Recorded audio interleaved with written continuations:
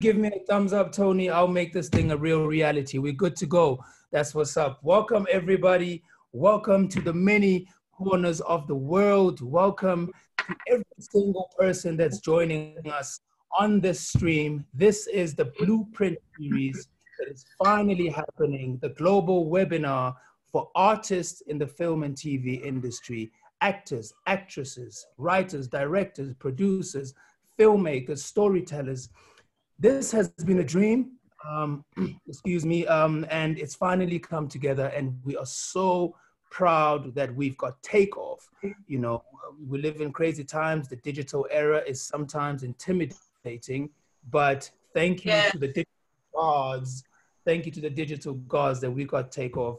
Um, I would like to humbly appreciate the co-producers and co-founders of the Blueprint series, Mr. Samad Davis, the incredible Winsome Sinclair, for this vision, for this baby, and for actually realizing it in literally no time. Um, and um, you know, um, and I would like to absolutely give a big thank you and a big shout out to our media partners, BET Africa, for allowing us to, um, to make this a big experience, for echoing our message and our voice throughout the many corners of our beautiful continent, Africa. Um, I would also humbly like to appreciate and thank you, the last partner of this event, the Artist Corner TV recently launched um, our YouTube channel and platform, which is 48 hours launched, and the three powers, the Blueprint Series, BET Africa, and the Artist Corner TV have made it their mission to bring the powers of the world together, to bring the great energies in the arts, film, and TV together so they can impart knowledge, empower the artist, educate the artist, rehabilitate the artist, inspire the artist, especially in my very biased corner, the African artist. What are we talking about today? What are we talking about today? It's very simple. We're talking about navigating Hollywood independently, globally, right? And I think the beautiful thing about this entire you know, um, session that we're about to go into is that we agreed as a team that Hollywood is not just a geographical destination, a location, but Hollywood is rather a feeling. Um, Hollywood is rather a mood. It's a global mindset. It's a global approach to whatever it is that you're about as an actor, producer, director, what have you, right? My name is Thapelo Mokoena. Those of you who do not know, I'm a South African actor, storyteller, producer, content creator, international actor, um, and I am blessed to be moderating this for you today. We've got an amazing um, panel. Um, we've got an amazing session that's going to take place now. We've got three sets of panelists. Um, we've got group one, group two, and group three, and each group has an amazing um, um, um, group of storytellers, people who have outlasted and outstood the test of time, individuals who are ahead of us in the game, some of who are young and brand new to the game, but people who show and display enthusiasm, especially for storytelling, especially for Black storytelling in a global sense.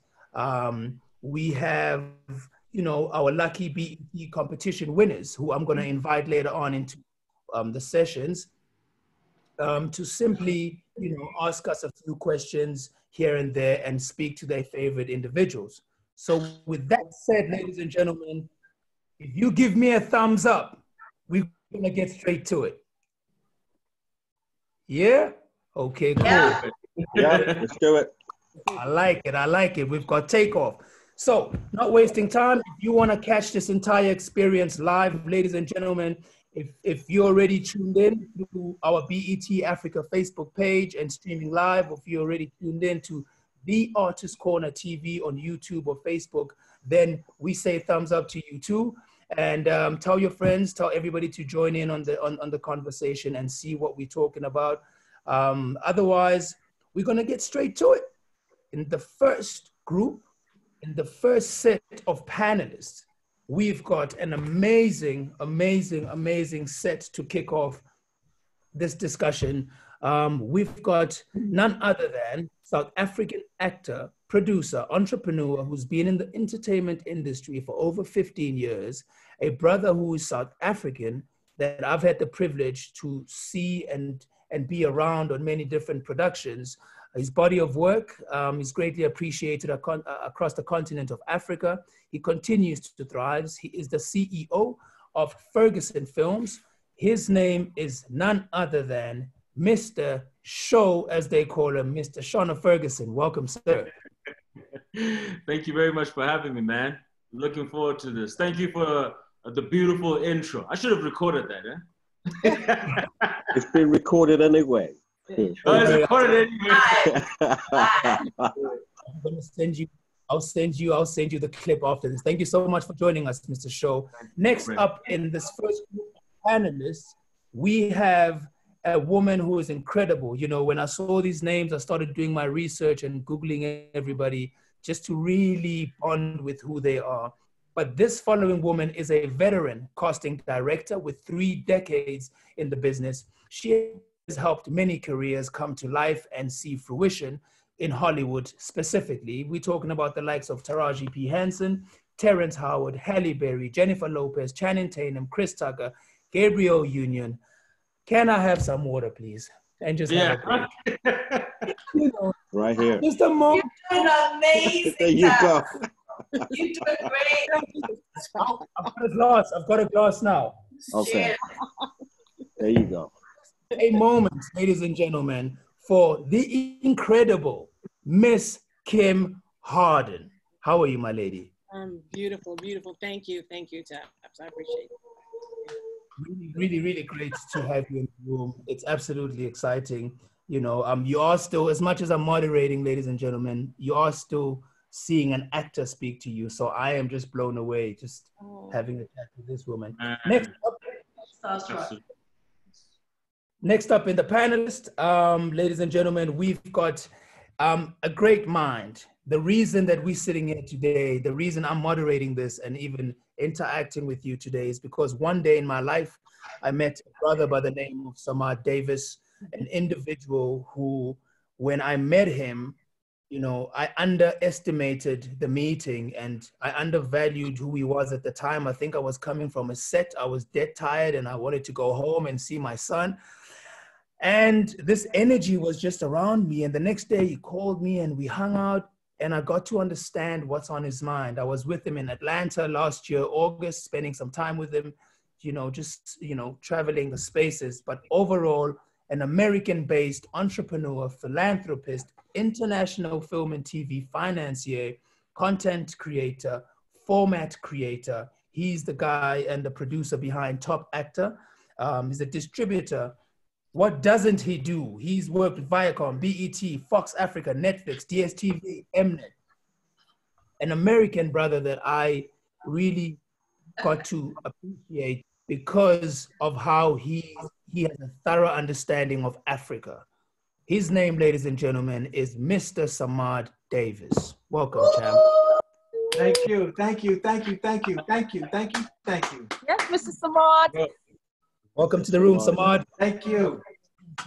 Um, next, um, and um, the last member of, in fact, the second to last panelist in this first group. Um, now, as a South African male actor, um, I grew up inspired a lot, but by, by what we saw coming from the Western community in terms of content.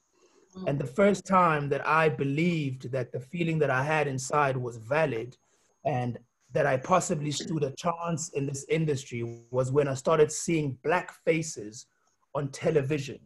And if there was a show that really changed how black people viewed black people on screen, in South Africa, maybe Africa, in fact, for a fact, Africa, it has to be the undisputed, undeniable cop drama series NY of New York Undercover, which starred the incredible Malik Yoba. And if he doesn't know this, I'm sure somebody, um, you know, is going to whisper it into his ear. But his roles on TV changed a lot of how we approached leading roles as black males. You know, when he took on that role of JC on New York Undercover, he made me feel like I could run a corporation, a precinct, a production, and whatnot. You know, ladies and gents, I'm not gonna say anymore. His list of credits is forever. He's an actor, producer, musician, educator, entrepreneur, amongst many, many other things. Please welcome to this very room, Mr. Malik Yoba.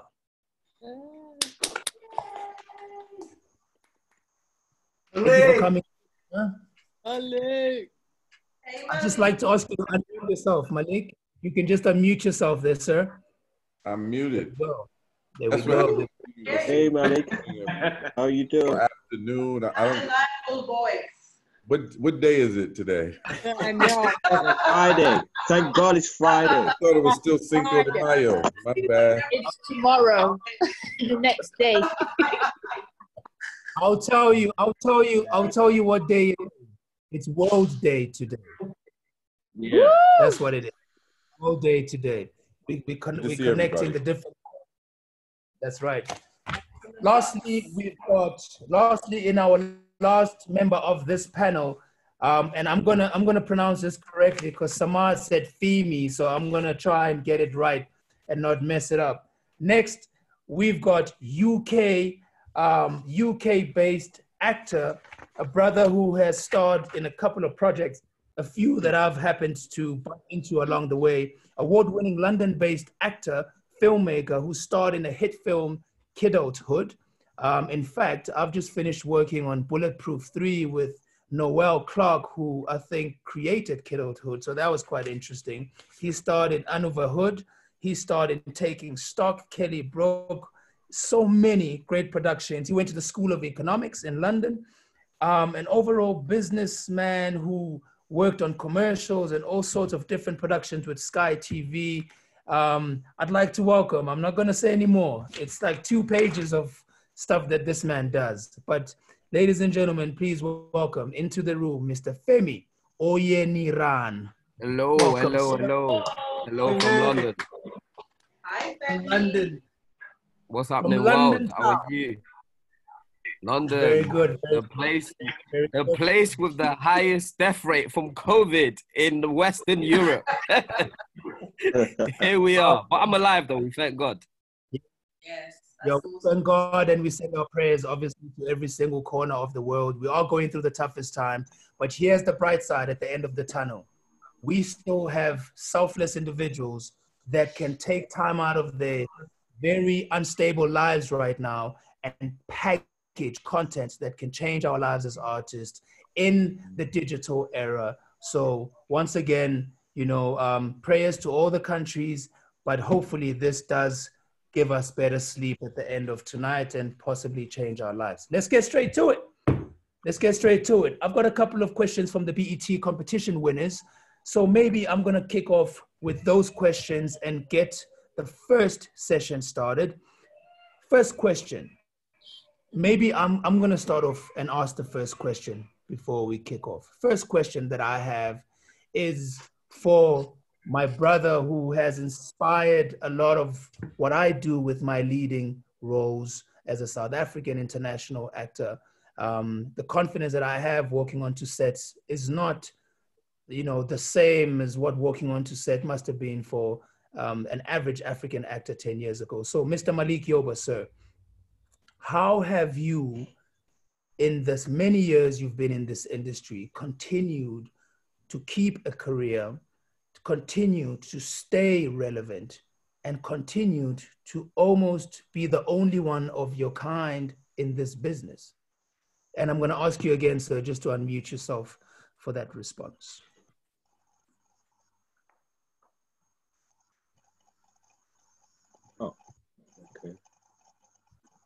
Um, do we have you there, Malik? Something happened to the screen. Did that Yeah. happen to anyone else? Yeah. Okay. Yes, just no like more. it. Okay. Um, Right. Over to you, sir. my um, I just think it's the grace of God, bro. I mean, I Mm. think we all know if you're in a creative field and you don't have ownership of your IP, then you're always um, at the mercy of someone else deciding when you can participate in their vision. Uh, and so, uh, thank you, Samad, for the last offer for a project, which we thought we were about to start right No, we, we before, uh, going up. We're about to start in a couple weeks, so thank you. Yeah. Okay. Thank you. in the nail salons in Georgia. Got you. I'll meet you there. but um, no, honestly, you know, I think it's one of those things that you don't really realize you have a career until you look back. Yeah. Because in each moment, you know, like I said, if if you're not working on creating your own content um, Yeah. or opportunities, whatever they might be, then you're always waiting for an opportunity. And so I think it's a combination of just favor and grace, Yeah. obviously hard work, um, good relationships, people that believe in you. Uh, it's always a wonderful thing when you get a phone call and someone says, "Hey, I'm offering you something." But you know, even at this age, 52 years old, you know, I'm still asked to come in and audition for things, and sometimes you're asked to come and audition for things that um, the next day someone else might offer you just direct the exact same thing. And so uh, the thing that has always driven me is a spirit of service and serving something bigger than myself. And it's not always directly connected to acting or the entertainment business, but just moving in the world with a spirit of how can I improve the life of other people? And I find that in my journey, that has been just part of the flow. Um, and then the other thing is something my father always said, which is build your own generator. So when they turn off the power, you still have lights.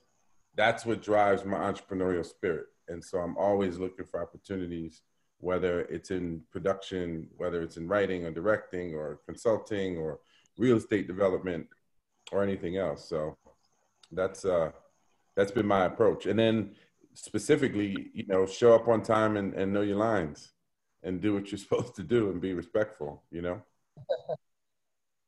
Absolutely, as as one should. Yeah.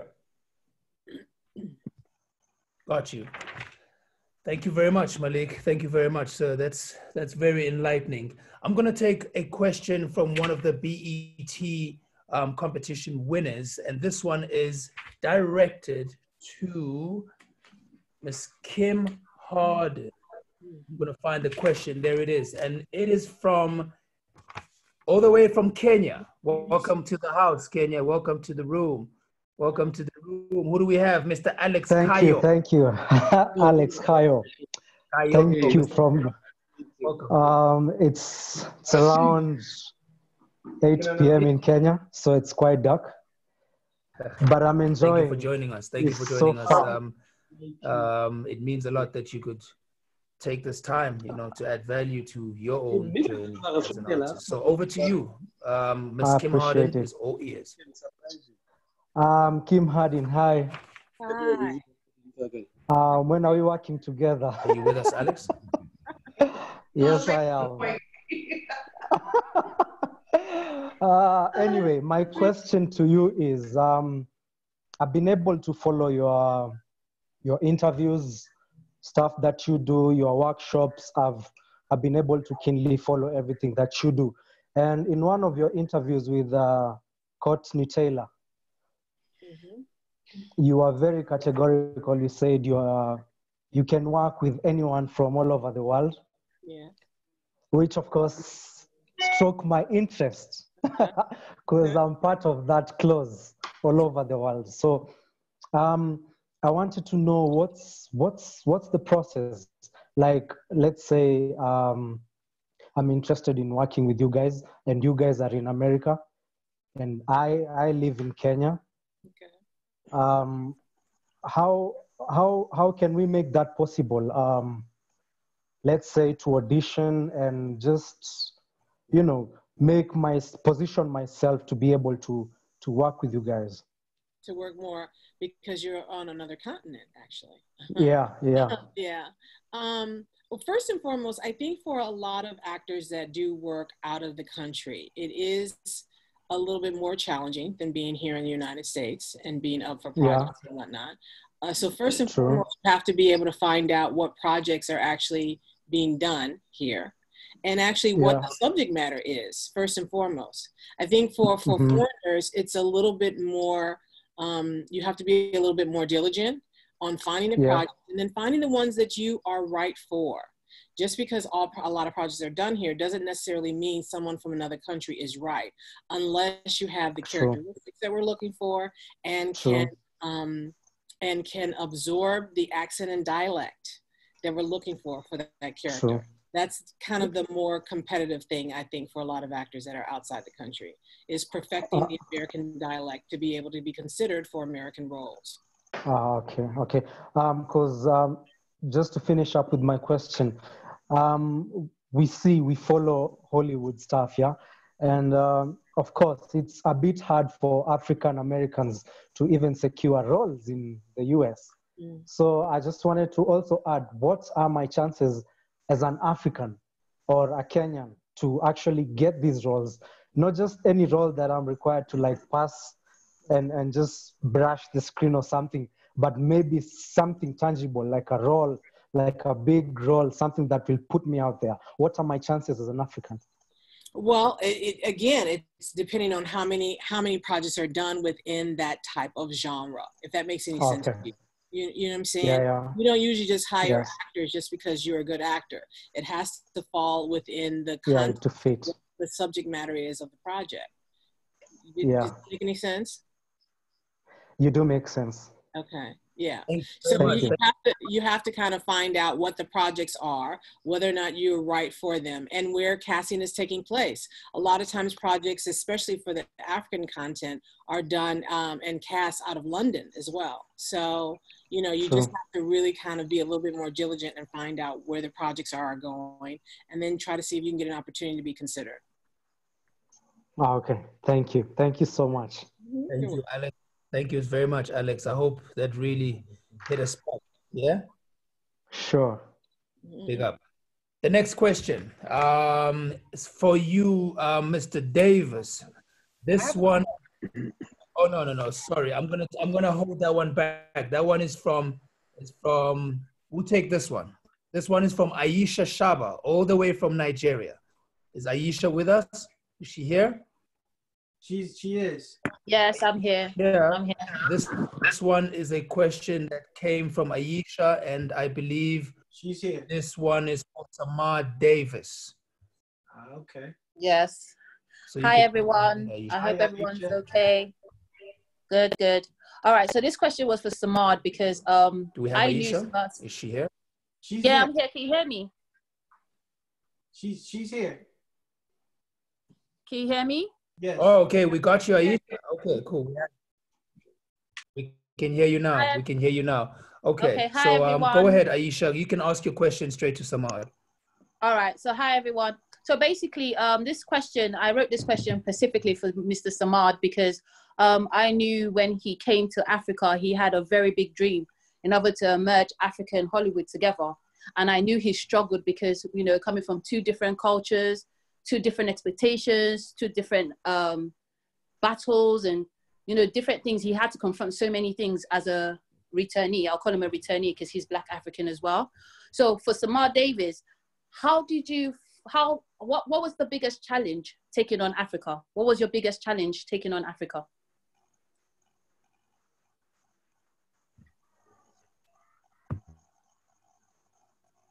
can you hear me Samad has his mute on. I'm sorry. Sorry. Sorry. Hello, Aisha. Thank you for the question. Samad, did you get that question? I got the question. I got the question. Um, I, I'm a firm believer that sometimes in life you have to step back to move forward. okay And I look at my journey in Hollywood, uh, uh, in, in, in America, period, being in this business as an independent content creator. Um, I stepped back. I left the industry and started doing other things in Africa. And then at some point, I said, well, let me introduce my core uh, background into the continent and be value added, right? So Mhm. for years, people would think, hey, I'm crazy. What are you doing in Africa? What, what's, what's the point? What, what are you doing? you know, and in America, they told us as uh, people of color, our films and television, uh, our content in general, didn't do well overseas. And then the minute that you step foot overseas in Africa and different places, and you realize everyone goes to work the same way we do. Everyone is doing the same things, right? Everyone has family and work and careers and dreams and visions. And I realized that there's no difference. There's no difference. Why am I not doing producing content in Ghana or Nigeria or South Africa or Uganda? Why am I not working with with the same people?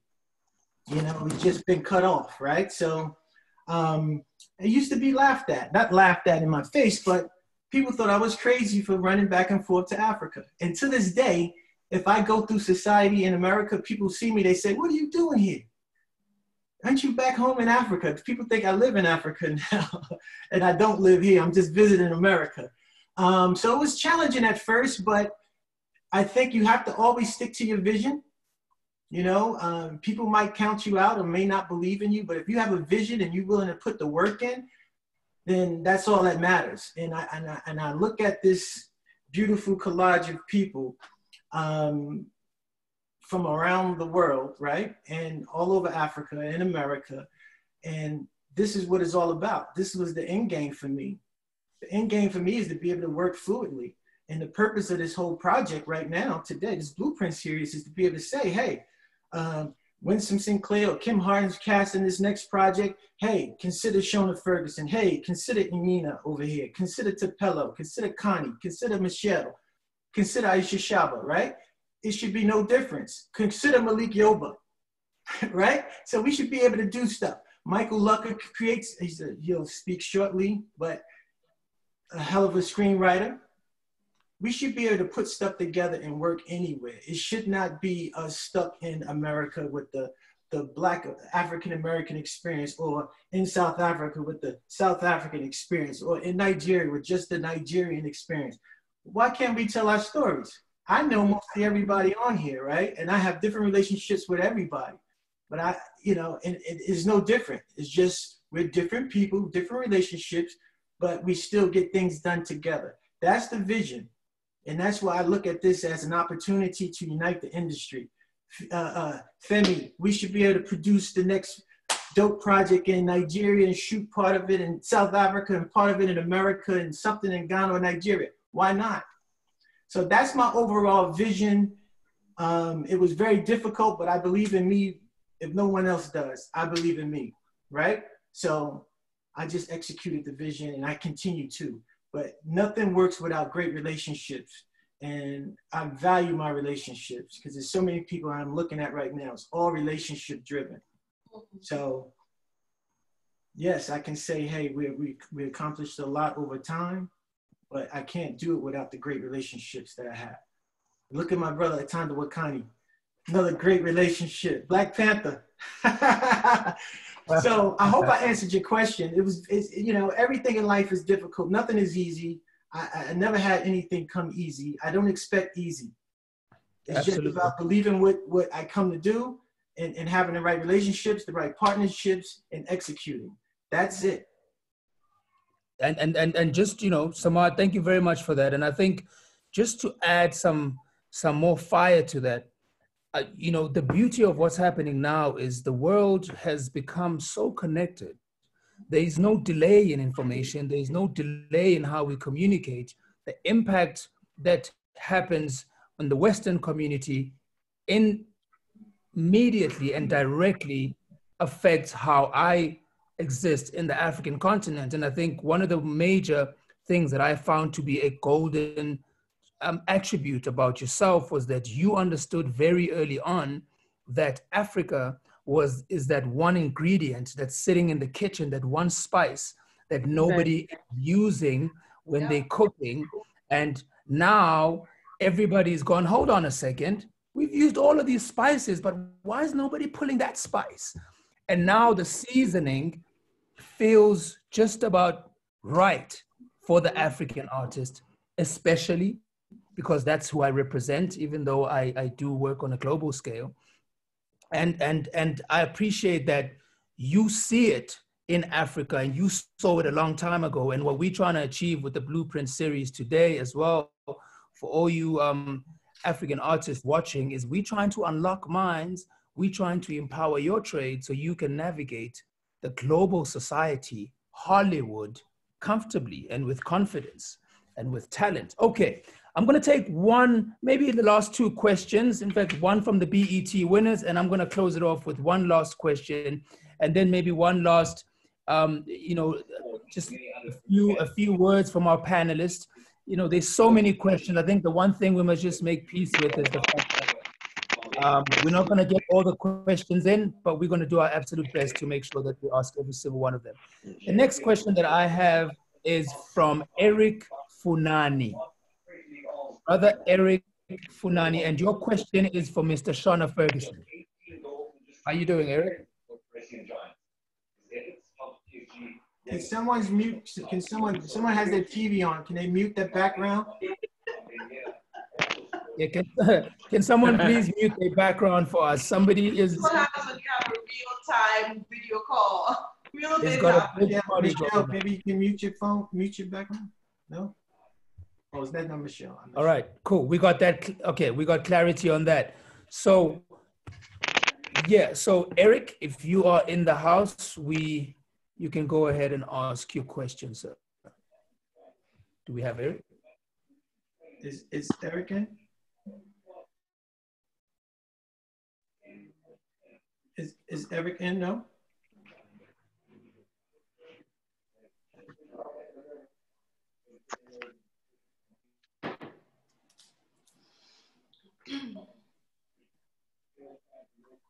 Seems like Eric is not here.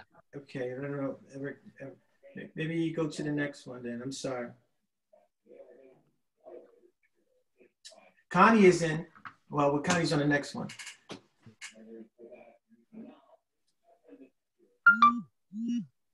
So, it's- Ah, we back on. Did we all get disconnected there? no, we're here. Okay. Yeah. My screen just went completely blank. So please bear with us. Um, we are going to have a few technical issues there, but we're going to try our best to keep it together. So, Mr. Shaw, I'm going to ask you this question. Um, there's a question here for you, Mr. Ferguson, and that is how do you select? How do you select your good cost? And how do you, as a producer and a business, um, select the cast to help stories better as, as a producer? And most importantly, what are the most important things to look out for when you are, or, or the one of the important things to remember when you are raising money or raising finance for your projects? Yeah. I think I'll take it back to you know the top of the question, which is um, um, you know when you start before you think of the actor, um, you give birth to the character first on paper, and the process is always like that. You always create these characters, and you put the show together, this movie together, and once you do that, in most cases, I mean. I'm fortunate enough that you know I'm also an actor, so I'm, I, I know quite a lot of um, actors um, in the industry. Um, but in most cases, the typical way is you create the characters. Once you created the character, then you start the casting process, which which is a very very uh, long process. But you know you have to go through it uh, to get the right actor, because sometimes I could be thinking, oh, okay, I could play this role, um, and, and and I audition for it, and then next thing the director feels like, no, no, no I'm not going to fit in, and they find somebody else. So it's always we always have to go through the casting process, and that's um, us reaching out to agencies, or if we work with the actors before, we call them directly, we put them on tape, and then we find the suitable um, actor for the role. Um, and then sometimes, um, and it's happened with a, quite a few of our projects, is you create a character and you already have the actor in mind. You already create this character and you know, okay, I want this looks like so and so will fit in so nicely for this particular role. Again, it takes some time for any actor to get to that point. Uh, not every, not everyone is is is, is in, is in a, a space where you know uh, people just think of them and they cast them for stuff. Um, I mean, I've been in the industry for a while, but to this day, I might be a producer, but I, I still go for auditions. And people don't understand that. They go, but why do you audition if you own your own production? I said, no, it doesn't matter. I still want to do other things. So we, we still have to audition. Nobody's too old to audition. So I'll say audition, audition, audition. Um, Yeah. And then you find the you find the magic, you find the actor, and and it works. Um, and then to go to how do you raise funds? Um, our industry in South Africa is very different from uh, um, some industries across the continent and overseas and stuff like that. And Samad and I have had long conversations about it. South African um, television industry um, is what's driving the industry mostly, uh, but more than film. Um, yes, we have film, yes, we have television, and then we have theater, but TV is like the mainstream. TV, South African audiences are typical uh, family viewing kind of audiences. So television drives is, is the bigger uh, platform. Now the difficulty is that um, South Africa is, no, not the difficult, let me go back to this. South Africa is also a broadcaster industry. So what that means um, is that most work, in fact, more than 99% of the content that's on television is commissioned content there's a difference between um, commission content and licensed content. So if your show is commissioned, it means you have to pitch it to the broadcaster. And if they like it, then they commission the show, they give you money for the show, and then it ends up on air, which goes back to what uh, Malik was saying in the beginning. Um, it's the IP thing. When your show is commissioned, then you don't own the show, then uh, the broadcaster. I guess I must say network, Samad, eh? The yeah. network owns the content. yeah, the network owns the content. Um, so that's a that's another challenging aspect uh, because you know you are still you are dependent on the broadcaster to get the show on air, and then you can self-fund a show. You can um, raise funds and get sponsors on board to create content, and that way that's how you get to own your content, and then you license it to broadcasters, which is a very difficult process. Yeah. Got you, got you, got you. Thank you so much for that, Mr. Shaw. Um, Kim, I've got, I've just been thinking about this a lot, especially during this time with the pandemic and looking at where the world is going with the digital era and how things have become so instant. What does that say for the role of a casting director? Do we have, you know, are, are we still going to go over to a casting director's rooms to get our roles? Or are we moving into a space where the productions are directly going to reach us through self tape, through video, um, from our homes to build their relationships? What happens to the casting director as we move forward with the future of television and film? And I'm going to ask you to unmute, please, Kim. Sorry, that would help. You can hear me, huh? yeah. Um, yeah, I think that this is definitely going to, uh, we're going to feel a change overall, I think, in, in our industry because of this world crisis going on right now. I know a lot of casting directors already did uh, cast from self-tape, but yeah. I like a little bit more hands-on. So I spent a lot of time with actors and worked with them through scenes and I'm going to have to do that a lot differently now, I'm sure, for a minute. So we can't really start our job as a casting director until we kind of figure out with various productions how they're going to be able to move forward so that we know now how to construct your deal and how to now buy you and what that all the ramifications that that comes with that. That come with um, that. So I will probably begin my next couple projects yeah. with self tapes and then hopefully you know in a short amount of time this will have this will be lifted. And then i can maybe do a little bit more one-on-ones with people to get them a little bit more fine-tuned for whatever the role is. But it is going to make a, a drastic change i think in how we conduct our job from here on. Does that help? Did that answer your uh, question? Everybody's on mute. yeah okay Okay. Yeah, that was um, great. Yeah. Thank you very much, Kim. Um, I've, we just having.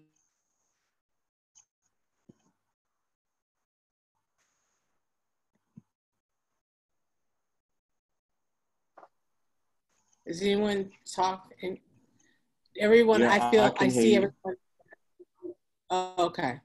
Yeah, okay. I can hear you. Um, I just think that internet is probably I, slow in some Right. Did, did I answer your question? Yeah, you did. It was amazing. Good. Okay. Okay, great. Kim, Yeah. it says here your network band, uh, bandwidth is low. I don't know what that means. I'm a I tech don't- savvy. I don't I know don't know what that means. either.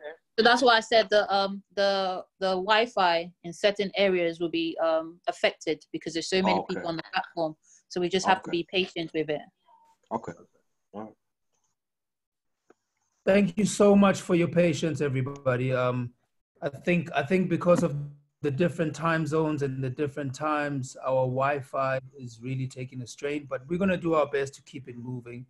Um, is everybody still there? Just show me a thumbs up if you're still there and we're still on the same page. We still got everybody connected. Okay, good. We got a thumbs up. All right, great stuff. So, um, thank you so much for that, Kim. Um, very enlightening um, information indeed. Um, we've also got um, Malcolm D. Lee in the house with us um, here in this very esteemed room. And for you as well, Mal- Malcolm. And welcome once again, and thank you for joining us on this in this room as we empower the artist. There's a question that came in, and that question is from Marcus Mabusela, who's one of our BET, um, you know, our BET winners. And um, Malcolm, if if you can go ahead and ask your question, I mean Marcus, if you can go ahead and ask your question to Mr. Malcolm D. Lee. Is Marcus, is he there? Michael John, wait a second. Marcus, do we have you? Yes, he, he was in the room. One second. Okay, let's have a, let, me just search for him. Marcus Mabusela. He's one of our BET winners, and he's got a question for Malcolm D. Lee. we Um, got him. Do we have him, Samad? Yeah. Should I move on? Maybe I, maybe I can speak to Malcolm, um, Malcolm Solong. Malcolm, sir, welcome.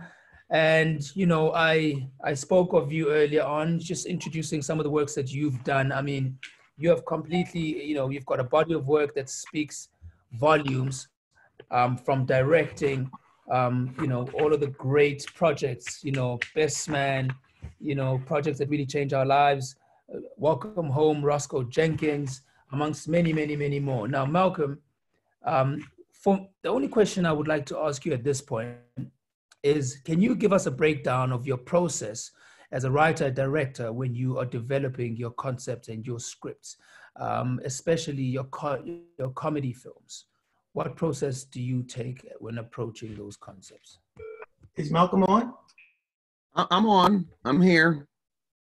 Can you guys hear me? yeah we've got malcolm Yes. yeah we can hear you sir. welcome sir. Okay. welcome welcome Thank you. Uh, what's the process? E- e- every process is different. You know, um, you know, with, with Roscoe Jenkins, it was a, it, the, the the the idea was to create a, a family reunion and and use um, you know uh, comedic actors um, or and, and some some some. I think Kings of Comedy had, had come out, and I, and, and that inspired me to to to you know write um, a family reunion movie. Um, and you know, and and and the idea actually was about um, you know a comedian who uses family in his act in his act to um, uh, to kind of like you know spread his comedy and you know um, but he wasn't he was estranged from his fam from his own family. Um, but uh, once Martin uh, came aboard, he he he didn't like the he thought it was too on the nose for him as a, as a comedian. So, he wanted, so he changed that. So and you know you you're constantly changing things to you know to accommodate um, you know your your your financier, uh, sometimes your actors, and you know uh, and and and the the process is you know writing process is a very lonely one, particularly in, when you're writing features. Um, it's not um, it's hard. I'm, I'm, actually, you know, rewriting something right now, and it's and it's incredibly difficult. Um, uh, particularly during this time. I'm, I'm- this is not really uh, my writing space. Um, you know, I have I have an office for that, but you know, it's it's it's incredibly difficult. But I guess I start with character. I start with you know the the kind of like overall um, broad story I want to tell. And I'm not a fast writer. Um, it takes a while for ideas of, of mine to incubate, um, and then um, you know I, I, put ideas to paper, um, and not and literally to paper, not not just on a computer, but literally like pen to paper, like lots you of. use pen? Like, oh wow! Lots of chicken oh, wow. scratch. Yeah, and and and, and one of these, and so you know, it's it's. Um, I'd love to be able to just you know write it right on the computer, but it's, it doesn't always work that way. You know, my my my my, my writing pen works much faster than my my brain to writing uh, on, pa- on paper works way faster than typing it. And you can't just you know do it. You know, exterior you know, grassy meadow day and blah, blah, blah. it's it's a lot. You have to like, you know, write it out and do the pre-work and the and the, and the pre-writing. So a lot of that, you know, um, it's just it's just a long process of trying to build a structure is what you, is what all screenplays are, are built upon is a structure and you want to make sure that you uh, you get that that structure solid and then you can fill in the, the blanks with you know character and intention and uh, setting and and whatnot Absolutely, absolutely. And, and and then Michael, you know, when it when it comes to um, you know, African Americans, you know, filmmakers in Hollywood, you know, it was wildly wildly believed for a very long, long time that an African American lead would not do well outside of U.S. territory, um, let alone U.S. territory, and and that theory obviously has since been disproved. But what, in your opinion, do you think would make African content more palatable to the US market? You know, what is it that Africa can contribute to the way stories have been told in, in, in you know, top of the food chain in the Western community? You know, I, I, as I tell any filmmaker, um, whether you're trying to appeal to an international audience or, uh, you know, a, a smaller community, um, you have to tell, write a story from your own unique perspective. You know, there's lots of stories out there, but there's you know the the, the kinds of stories. There's not that there's not a, a, a, a ton. You know, a lot a lot of stories are are you know just reworkings of you know Shakespeare. You know, like uh, like like Romeo and Juliet, or or Hamlet, or Macbeth. Um, or King Lear, you know what I mean, and and and then their and their accounts are not not just Shakespeare, but you you work them in a way um, that that is your your uh, uh, cultural specificity. I mean, when it came to you know the, the, the movies that that I wanted wanted to make, I wasn't seeing myself as an African American, educated, uh, upwardly mobile, you know, uh, aspirational black man being represented on screen. It was it was a false um, uh, representation, you know, that that, that I saw, and I was like, that's not who I am. That's, who, that's not who the people that I went to school with. And I am sure, I am more than sure there are there are images of you know the entire african continent embodied you know with, with 50 some odd countries you know that are like oh it's africa and they're misrepresented you know across you know the, the, the world right and it's like so a person from kenya has a kenyan experience has their own kenyan experience a person from nigeria has their own experience in Nigeria? What are their, you know, and, and, and depending on economic strata and depending on kind of story they want to tell, you know, if it's a genre story, if it's if it's if it's a, if it's a if it's a crime drama, or if it's a, you know, a love story, um, you know, that, that you tell that from your unique perspective, your brain, um, and you know, get it out there. I think that you know, if you build it, they will come. People were not seeing themselves, same like I wasn't, you know, when I wrote Best Man and they they took to it they said okay like i want to i i, I that that looks like how i see myself and i think it's vital that we all you know put Yeah. product out how we see ourselves not how other people see us Thank you so much for that, Malcolm. And I think that rings very true for the African, especially South African film and TV space. We are getting used to the idea of watching ourselves on screen, seeing ourselves as those iconic leading characters and heroes. And by virtue of that, um, we are starting to relate and we, we are starting to find our own um, appearances more palatable on screen and even enjoyable and, and part of our appetite, which is brilliant. Um, Thank you so much, Malcolm. Appreciate that, sir. Femi, I'm going to try and close this off um, the first segment, and I'm going to ask you a few questions. Now, you do a lot of things. You're an actor, you're a producer. You've just, you know, you made a documentary about fatherhood, which featured a lot of great names, some of them Spike Lee. You know, um, there's so much that you do. You sort of, you, you kind of remind me of myself in this industry. You know, I'm an actor, but my fingers are everywhere. But this is where I get to unleash most of what I create and some of my own ideas. What are you busy with now? And what is the journey for Femi? Um, where is all of this ultimately um, growing to? You've built a great business around your art and your offering. I think ultimately, I mean, I started out in the industry as an actor. I, I as you said, I starred in Noel Clarke's film Kidulthood, and I've been able. That was the foundation, and I've been able to build from there. In between all of that, I saw. I went to university. I studied law and those skills that I attained from my law degree have really helped me to go into production. And um, because I, I got to a point where I realized I wasn't getting as much work as I would have wanted to get. And so ultimately, what what I wanted to do was um, I wanted to start creating my own content because I felt like that would that that meant um, I didn't have to depend on someone else to to I didn't need permission to create if I if I made my own content. Yeah. And so ultimately, like you know, what what that has led to is for me to build, you know, to build a business that creates content. So you know, my I've got a couple of films on Netflix at the moment globally, um, yeah. called The Intent and The Intent Two, um, which are crime thrillers.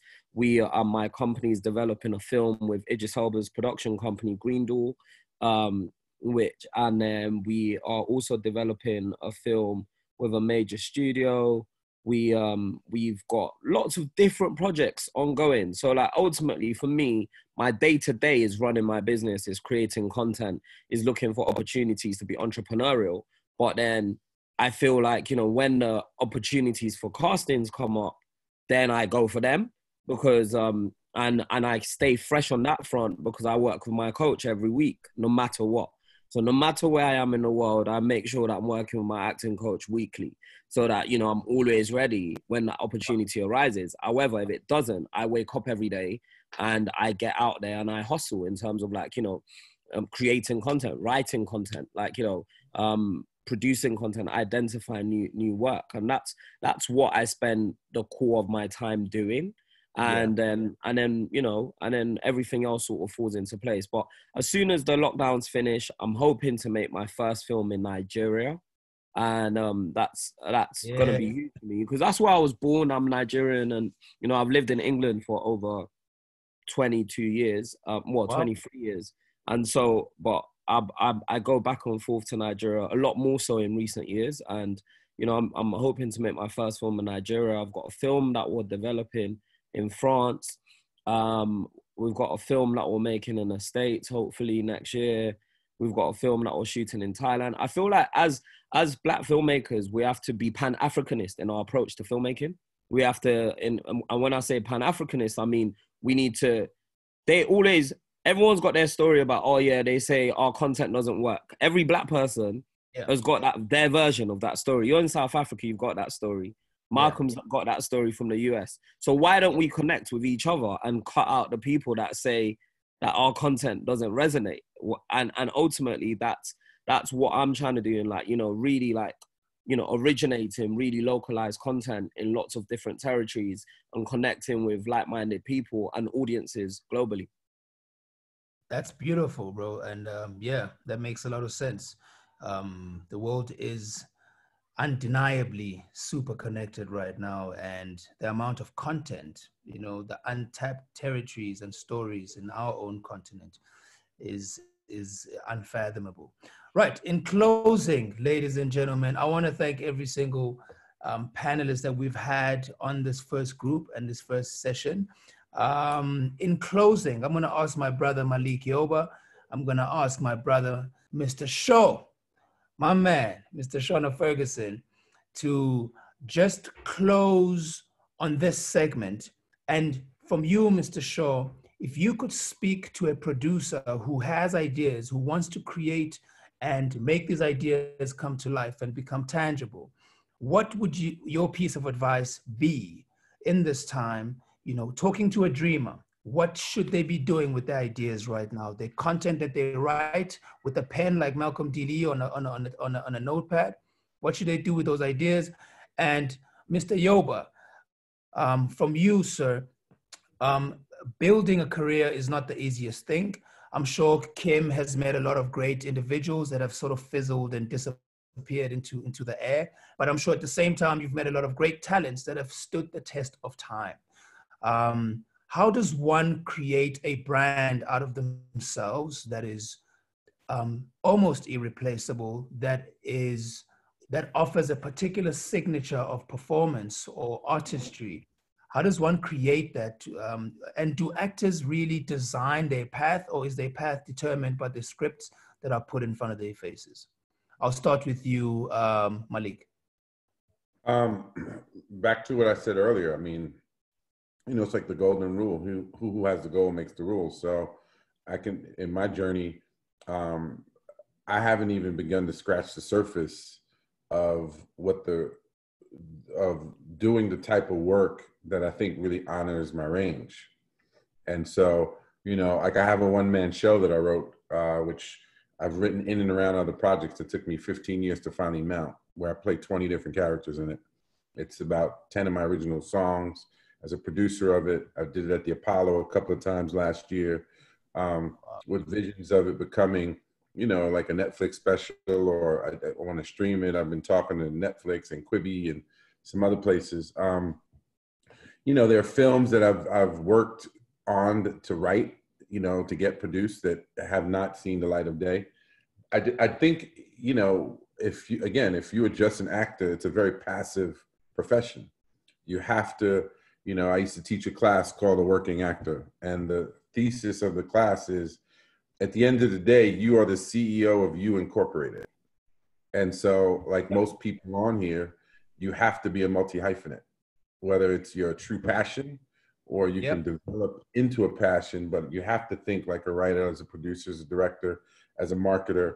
You have to know about the finance side, how to raise money, all of those things. And so, um, I, you know, I'm sure for other actors it might be different. Um, and I think that ultimately, the work that I've done that the world has seen in the minds of some people, that has created the brand of Malik Yoba but um, I think there's always a huge gap between what you know you're capable of and what other people see you as. Like for instance, comedies. I haven't done a ton of comedies, but I'm funny as fuck.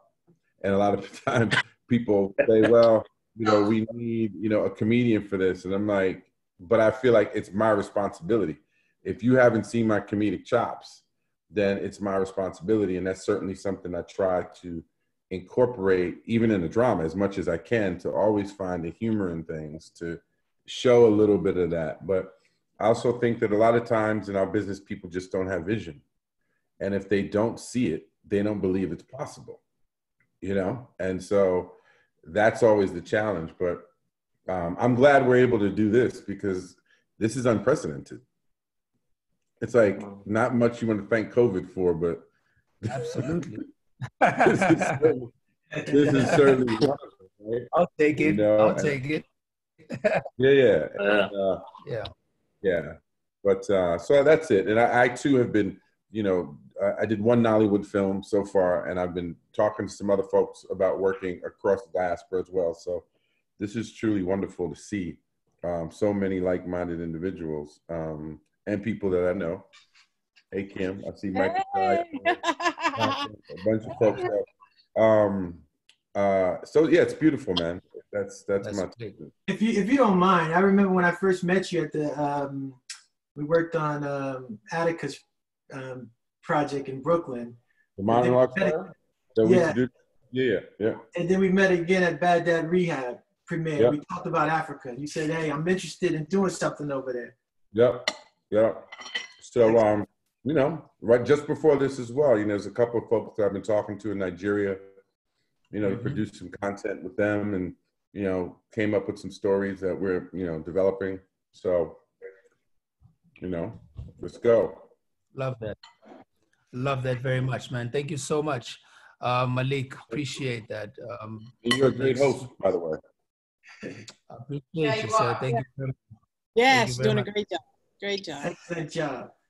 Yeah. Right, right. Thank you very much, everybody. Mr. show. you want to? Sorry, Samad, go ahead. You got? No, no, no, go ahead. Um, Shona was next. I just had something to ask. Yeah.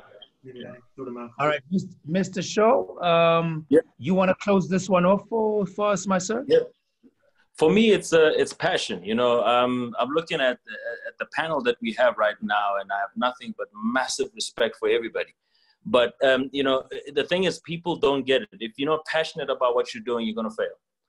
That's just how it is. You need to have passion. You need to have drive. You need to work at it on and on and on. I've seen a lot of producers um, pitch one show or one film um, to a, a, a you know a broadcaster, a network, whatever, and it doesn't get picked up, and they get frustrated and they quit.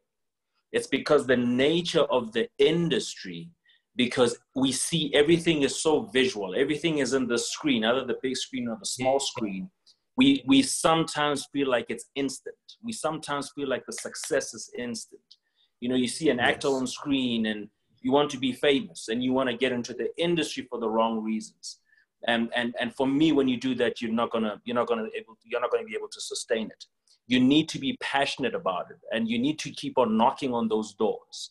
Um, there was one year where I went to 113 auditions in one year. I didn't get one role. Wow. In one year, 113. It's, it's, it's I have it in my Sorry?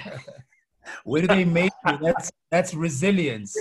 Yeah. That's resilience, man. 113 auditions. And when I tell the story, people don't believe it. And I said, you know, I still had to knock on doors to this day. It doesn't mean that now I've got uh, uh, many productions going on. I've made it. No, if I'm not passionate about it, if I don't, if I don't keep on knocking on those doors, then you know it's all gonna, it's all gonna fizzle out. And and you need to work at it. Femi said something. He sees an acting coach every week, and I'm like, what? I'm so I'm, You know, a I'm blown away by that. I, I was blown away. It was like he sees an acting coach every week, and this is a busy man with other things, but he still finds time to. I mean, come on. I mean, it's like these are the things that we have to work at. You know, um, we need to watch other people what they're doing. You need to watch a lot of content, content, read a lot, uh, read a lot of books, um, watch what other um, continents are doing in terms of content. And to be honest with you, um, for me, it's a very humbling experience to be a part of this platform because you know every day is a learning experience for me. So keep at it, keep knocking on doors, keep pushing, keep writing, um, do a lot of self tapes, um, practice, uh, ask questions. There's no such thing as a stupid question. Ask questions, um, listen, listen, you know, and, uh, and keep pushing. That's it. Thank you so much. You know, and this is exactly why we have this digital takeover and this inferno going on right now because, um, you know, we got to watch and listen to our environment and look and watch those who are doing really well closely and take a little lesson from their book. Thank you very much, Mr. Shona Ferguson, Ms. Kim Hardin, Mr. Samad Davis, Mr. Malik Yoba, Mr. Femi Oyeniran, and of course, um, the, the iconic Malcolm D. Lee. I do not know how to thank you. I've got like papers and papers of questions, but I cannot possibly ask you everything, you know. You- so you thank you, thank you, thank you. You mind if I Say it again, Malcolm before we let Malcolm go? Just one. Do you mind? Oh, Malcolm? Yes. Malcolm? Malcolm? Oh, he's back. Okay, I thought uh, I thought he left. I thought Malcolm left. I So he has to Malcolm is still here. No, well, I, I do have to, I do have to go, but but what what's what's what's up? Well, I'm gonna Samad, Samad, I'm gonna I'm, I'm I'm gonna let you I'm gonna let you ask Malcolm a question. I'm gonna throw it right back at you because you know Malcolm. I mean, we all know Malcolm, but you know there's that one question that you know that you should ask him that can help us learn a thing or two about Well, the man's journey. Thank you. Well, I had the pleasure of um, um, bringing hosting Malcolm in South Africa. He came in and, and was a um, episode director for Top Actor, which was a great experience. So my question to you is: Do you have you thought of developing anything for Africa specifically? Anything that you have already that you might think to shoot in Africa, or something specific that you can develop specifically for Africa? Well, What's yeah, around that? You know, I, I not not specifically. Um, you know, for Africa. Um, but I've certainly entertained and have been developing um, things, screenplays, and shows that would take place on the continent. Yeah. Um, and, you know, I think we it's it we have not really seen, to my knowledge, uh, at least on a, on a on a you know kind of global and you know from an American um, uh, movies, a uh, African Americans experience on the continent and actually, you know, experiencing you know what it is um, uh, to to be there, uh, the the cultural clashes that that, that could pot- potentially be there. Um, and the, the synergy, and I think that that's a, be a, a great opportunity to do that. Um, see African Americans in Africa, so I, I, I am developing things um, in that vein and want to do and I want to do more interaction and you're right it was a great experience. Uh, my first and only time to the to the continent uh, was with you Samad and it was it was fantastic and I like I I, I want to do it um, a lot more I really enjoyed you know working with the people there and um, I want to I want to uh, do more for sure. Thank you. Thank you. Thank you. All right. Everybody have a great uh, weekend, great Friday. Happy Mother's Day to everybody. Take care. Take care. Thank Yes, you very much. Thank you Bye. Bye. Thank you, sir. All right, Thank you. and that, ladies and gentlemen, is our first segment um, with its own technical teething problems, and we're going to cruise right on to the second segment. Thank you very much to our panelists in the first session. If you want to stick around, please do, um, and and stay for the rest of the session. If you have to go, we do understand. Thank you for imparting knowledge. You are changing our lives, and you best believe we're going to share this entire experience um, through our different social media pages or different platforms. So the end product will be used as an entire package. That's going to be really beautiful. Next is group two. If everybody's ready to move on, let's just get a thumbs up real quickly. That's that's our little, you know. there we go. I see the queen, Miss Connie Ferguson, is in the house. I am, I am, I am humbled. Um, well, you know, it's greatness. It's it's really great to see the very same people that that that you know were part of your journey when you were cracking off still in your life one way or another. And of course, during these tough times, we don't get to sit physically. And this is this is the new physical. So welcome everybody. Moving on to the next segment, I would like to welcome, and you know, for sakes of time, I'm gonna get straight to it. Um, our second group is also it's just like power ensembles samad this is really really you know really phenomenal um this lady that i'm going to introduce next in segment two ladies and gentlemen is a lady who has won a tony award for her role in Caroline um, she was nominated she's been nominated for a couple of tony awards excuse me. Um, she also, um, where I remember her is from her role on the number one ladies detective, which was shot in South Africa and Botswana, I believe. And I remember because I read for that series, I read a script for that series for a character. It didn't work out, the life of an actor. Um, but I know she starred along your Desmond Dubes. She worked with Miss Jill Scott, and she also did an incredible um, um, um, portrayal of her character on Power, the series, um, amongst many, many, many roles. I mean, she's done absolutely everything. Ladies and gentlemen, I would like to welcome to the global webinar room the one and only Anika Noni Rose. Is she in the house? I am here. How are She you? is in the house. Are you with us, Anika? I am. Can you hear me? I can Yeah. hear you very. Oh, there she is. There you are. Hello, hello. Hey, thank you so much. That was lovely. Pleasure's all ours. Welcome to the room, Anika. Really, really happy to have you here. Next, I would like to introduce um, the next individual that's joining us in this room and in this panel is writer, director, producer for, with almost 20 years of experience in the film, TV, and animation and digital media industry. This person is qualified, has got a broadcasting and film um, undergraduate degree from Boston University College. He has worked on so many projects. I'm gonna I'm gonna run through them. He's worked with all the studios: ABC, NBC, CBS, HBO. He has worked um, on different productions with Steven Spielberg um, as an assistant on films like Indiana Jones, Last Crusade, always Back to the Future, three and two, Jurassic Park. Man, can we just give a moment and a big thumbs up for Mr. Michael Lucker from the USA. Welcome, Hey, Michael.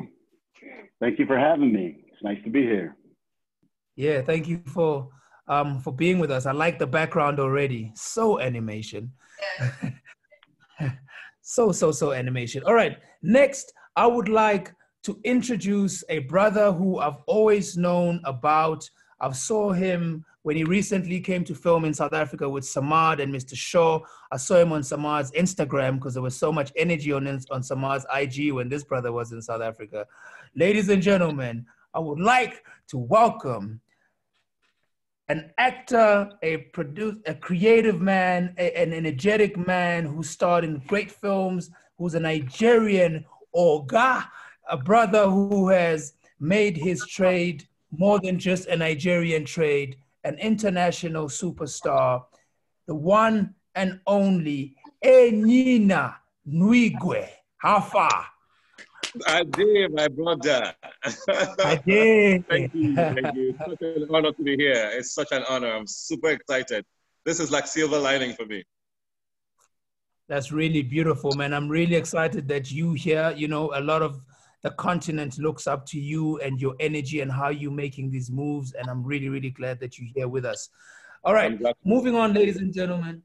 I'm going to invite to the room a man that I have had the pleasure of working alongside on many a productions, from British productions to South African productions. He has now since left um, the land of the living and has moved over to um, the blue and the stripes of the USA, and he's literally building a career for himself. He calls himself, or we all call him, and he also calls himself the Prince of Theater.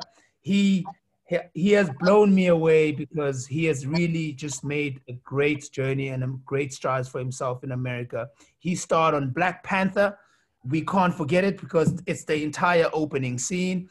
Um, and of course, he worked with his father, Mr. John Kani, on Black Panther um, as well. I would like to welcome, I call him my younger brother, but he's making big moves, and I appreciate him so much. Mr. Atandwa Kani, Welcome, sir.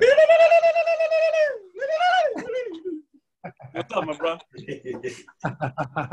uh, since you did that, I'm gonna go. "Grrr, ah. How you welcome, doing, bro? Welcome. How you doing, sir? You good? I'm good, man. I'm good. Um, the weather is a little off today in New York, but you know we'll survive. We'll survive. Yeah, yeah, and I and, and I can hear you working on that American accent. It's sounding rather good, bro. You know I am, bro. You know I am. You know what's up? You, you I'm really happy to have you. I'm really happy to have you in the room. Um, we've also got, um, last but not least, um, a very influential behind the scenes energy, a South African lady that I know. Um, I know I've known for a very long time about her work. I've, I don't think we've ever really had a, a chat beyond just hello, but she's none other than television writer, director at Gambit Films, and they are producing some amazing content um, eh, eh, from South Africa at, for the past couple of years. Number 37 is one of the movies. Say Doers, Doerster, the Afrikaans film, Blood and Water. Please welcome to the room director, writer, and and and film enthusiast and storyteller Nosipho Dumisa. What's up, Nosipho? Thank you so much. I don't know what I'm doing in this uh, group of people here, to be honest. I, I have no idea how I got here, but thanks, Samad. Um, I, I really appreciate it. I'm just kind of fangirling this uh, at the moment. Don't worry, we are fanboying too, so that's okay. Welcome, Nosipho. So we're gonna get straight to it. Um, they so many powers and and and and, and forces in this in, in this panel. I'm gonna hit straight. I'm gonna go straight to my sister Anika Rose, and I've got a question. When you started working on the number one ladies detectives that I couldn't be on, you know, um, many years ago, um, and you were filming in South Africa and I believe that, you know, I didn't know much about you until I saw you on that show. You were starting off in your career. It, it felt like it was the beginning of your journey. And I never stopped seeing you since that show. I started seeing you absolutely everywhere, um, all the way to power and so many powerful portrayals. According to you, when you were beginning in the industry and when you were starting out, what made you believe and know that you are the real deal? That you are at the right place at the right time, that you are destined and you are supposed to be an actress? What made you believe that you had the chops and you were enough to execute? Well, firstly, thank you. Um, it did seem like the beginning, um, but I had been doing theater for many years before I before I did Number One Ladies. Um, yeah. And I you know, I think you know when you're called to something. Um, I started sort of late for many people. A lot of people start when they're little kids, they're in classes, they're in ballet, they're in whatever. I didn't act in anything. My first play I did in high school at my high school. So that was sort of late in the game for many professional people. But um, when I did that play, which was a musical, I knew in that moment on that stage, I said, well, I had never felt anything like I felt while I was on stage performing. And I did loads of things. I ran track, I played soccer, I swam, I um, I was in the band, marching concert, and jazz. So I did loads of things, but that was the thing that spoke to my spirit the loudest. And I actually stopped doing everything else because I was like, well, this is it. This is what I was supposed to be doing. This is, it's like the tuning fork. When you get to the right pitch, it vibrates the way it's supposed to. And that's what was happening for me inside. So I, um, I was lucky. I had parents who never tried to get me to do anything else. They always supported me in my journey, and they never told me that I couldn't do it. So I think probably that was the best tool that I left home with was never having been told that I could not achieve something. So I never thought of it as, oh, I'm stepping into this business with 100 million people trying to do the same thing. I, I thought of it as, I'm bringing myself to the thing that I'm supposed to be doing. Yeah. Um, and that was, you know, I trained. I went to, I got my bachelor's in theater, I got my master's in drama. So I trained myself because I wanted to make sure that when I stepped into the arena, I had the tools that I needed aside from a proclivity, um, you know, or or a, a, light of my own. You you have to have something behind that. You can't just walk in feeling cute and knowing how to speak and think that's going to take you somewhere. So I trained, and um, and then I stepped into the world, and uh, that was pretty much it. Yeah, that's absolutely beautiful. Thank you so much for that. Um, I'm going to cross over to Nigeria, um, to Nigeria to speak to Aisha Shaba, who's got a question for Mr. Enyinna Nwigwe. You know, let's put Nigeria together. What, um, what do you want to know, Aisha, from Enyinna?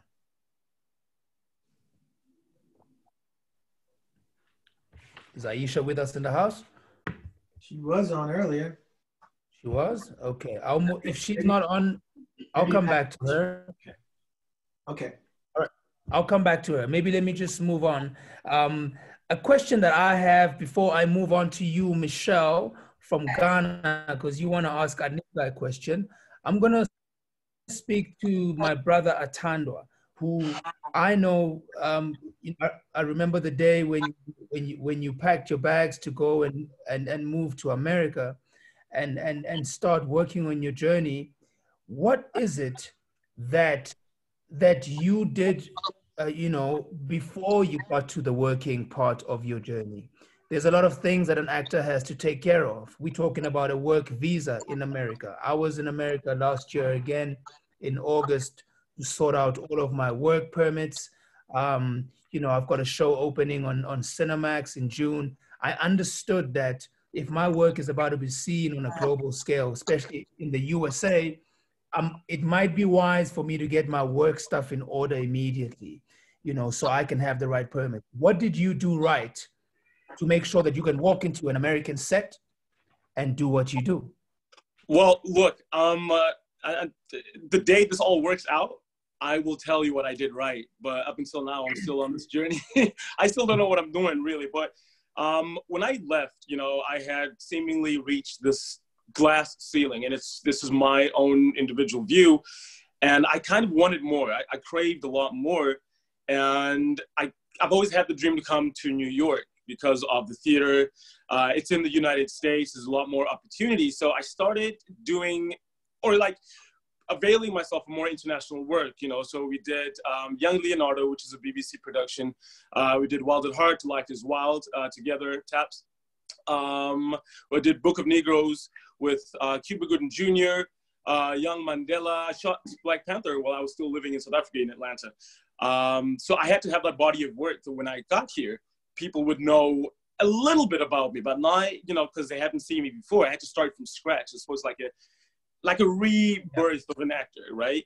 And then I enrolled at NYU so I could learn about the American uh, theater canon, the American work, the American writers, directors, producers, uh, to learn a little bit of this dialect that people are using, which Samad calls, he always teases me about this dialect, but I'm trying, I'm trying, I'm trying. Um, I love so, that.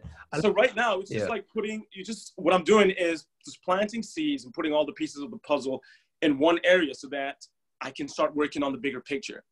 But you can't do that if you don't have uh, J1, F1 visa, work permit, um, residency, you don't, you know, that, that green card that provides you with all that. So it's a journey, but here we is. Here he is. Here he is. Here he is. right. So, so you know, and you are doing very, you know, well, and you steady on that journey, and that's a beautiful thing to see.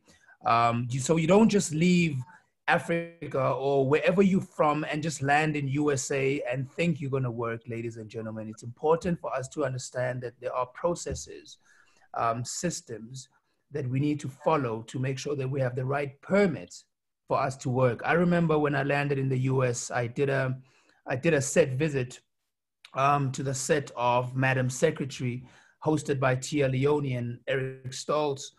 And it was one of the most beautiful one of the most memorable days of my life because i felt like i was at the i'm in the right space you know. I land in america and the very next day i'm on the madam secretary set. And the one thing i remember there was a moment and i, I mentioned this to samad when Téa said to me she came off set after introducing me in the morning at about lunch she comes off set and she says hey man why don't you come play with us why don't you come work on the show and do a small part on madam sec can you shoot next week? Do you have the right permits? I was left speechless because I knew at that second that it could change or make, you know. So I obviously gave her the whole speech about, oh no, that's why I'm here. I'm about to go to Atlanta, meet Samad, meet the attorneys, and sort it out. So it could literally be a small opportunity like that that could go because you don't have the right paperwork and the right things. Okay, Michelle. Yes. Yes. Finally. Finally. Teaching to ask the questions. BET, of course, is one of our major partners, and we are grateful to have such a big voice speak to the corners of Africa. Thank you so much, BET, for bringing us the lovely Michelle Latour from Ghana to speak to my sister, Noni Rose. Go ahead, Michelle. Almost, I think this is an amazing, um, you know, like you said, Samad, montage of African representation, be it African Americans or those from the diaspora. It's great to see people from all walks of life and from all corners of the continent. And Anika, I'm one of your biggest fans, and you know, I don't want to seem like a like star starstruck, but I am. Some research on you about, you know, how, you know, growing up, you kind of visualized, you know, what you wanted to become. You know, the voice is what it is that she wanted to always have, to have, you know, a platform to, to change, change the narrative and change, change the uh, description of, of, of self. And my question essentially is around that particular, you know, visualization of yourself. Do you feel that it's important to change the narrative, the African identity in Hollywood? And if so, um, do you feel that now with this whole Pan-Africanism and the movement of um, the millennials and the Generation Z looking into the continent, do you feel that it's probably time to start representing stories of our warriors, like kings and our queens, that change the narrative from the continent? Why is it that you know stories like Yaa Asantewaa from Ghana, uh, Queen Nzinga from Angola, uh, Nefertiti from Egypt is not being represented in, Hollywood. And if you have the opportunity, um, I think, uh, Anika, sorry, which character would you like to play? I feel like that's like the trick Jollof question. and I'm no. going to be in trouble if I pick the wrong Jollof. but um, I there's a lot of questions. Um, I will start with a yes, that I, I do think it's time to show something else. Um, because, you know, was I born on African soil? No. Is that part of who I am? Absolutely. Do I get tired of a singular narrative? Most assuredly. That was one of the reasons why I really wanted to do Ladies, because I thought, wow, you know, this is a story with Africans just living, just being Africans, just having everyday lives. And there's no war, there's no AIDS, there's no, you know, children sitting on the side of the road with flies in their eye. That was the narrative that had been consistently shown on television. Um, just not not what I knew of my readings and then now, having been to Africa several times to work, I lived in Botswana for six months. It was a great gift. Um, I worked with the great John Kani, which made me very happy. He's such a sweetie pie. Please tell your dad hi for me. I will do. Uh, it was a gift to me to actually be on the soil. I was able to work in Nigeria. I lived there for a month or two doing uh, doing um, half of a yellow sun. So each of those experiences, I think, have been great, great gifts and allowed me to see Africa in a very different way than it is portrayed on screen here. And also, you know, I think that Black Panther was amazing and really paged a landscape. But I also think it's important to show, you know, Africans not as magical beings, but as people who existed and did amazing and wonderful things, which is why they still exist. Which yeah. is why every time you do a a, a, a sci-fi or something in the future and you don't have no black people in it, you lying. Because there's no way that black folks could have made it through all of the things that they've made it through, and we're not gonna make it to space in the future with you. you playing yourself with that one. We will be there. so well, the factor that's strong Yes, absolutely. And and resilient. And we know how to morph for what what is coming towards us. Um, yeah. excuse me. So with regard to the queens, I am most enamored. Well, look, I love all of them because they're so specifically different. And Nefertiti is the person that I grew up looking at most often because you know she was beautiful they had a bust of her stunning. What they don't have is a real history of her written down. There's a lot of mystery around what her history was uh, which makes that something that would not be as truthful because we would be making things up but still worth being seen. I am i am intrigued by nzinga. Yeah. I am intrigued and by her story. Quite, a, quite a, uh, a, pace setter and a game changer in her, in her own time, in her own world. When she sat on her own maid to be at the same level as the ruler, to me that was empowering. That was that was that was life changing. And I think those are the kind of stories that need to be retold because, you know, that we've lost the sense of, you know, the Africanism, the empowerment that we have, the, you know, the, the identity that we have. We come from a rich soil of natural resources, talent, um, history that needs to be recounted. I feel like Hollywood is missing that. Well, yeah. they are missing that, but it's not like they've missed it by accident. that's not what they want to show. Because if that's what you show, then you have to admit that you made the continent smaller on the map.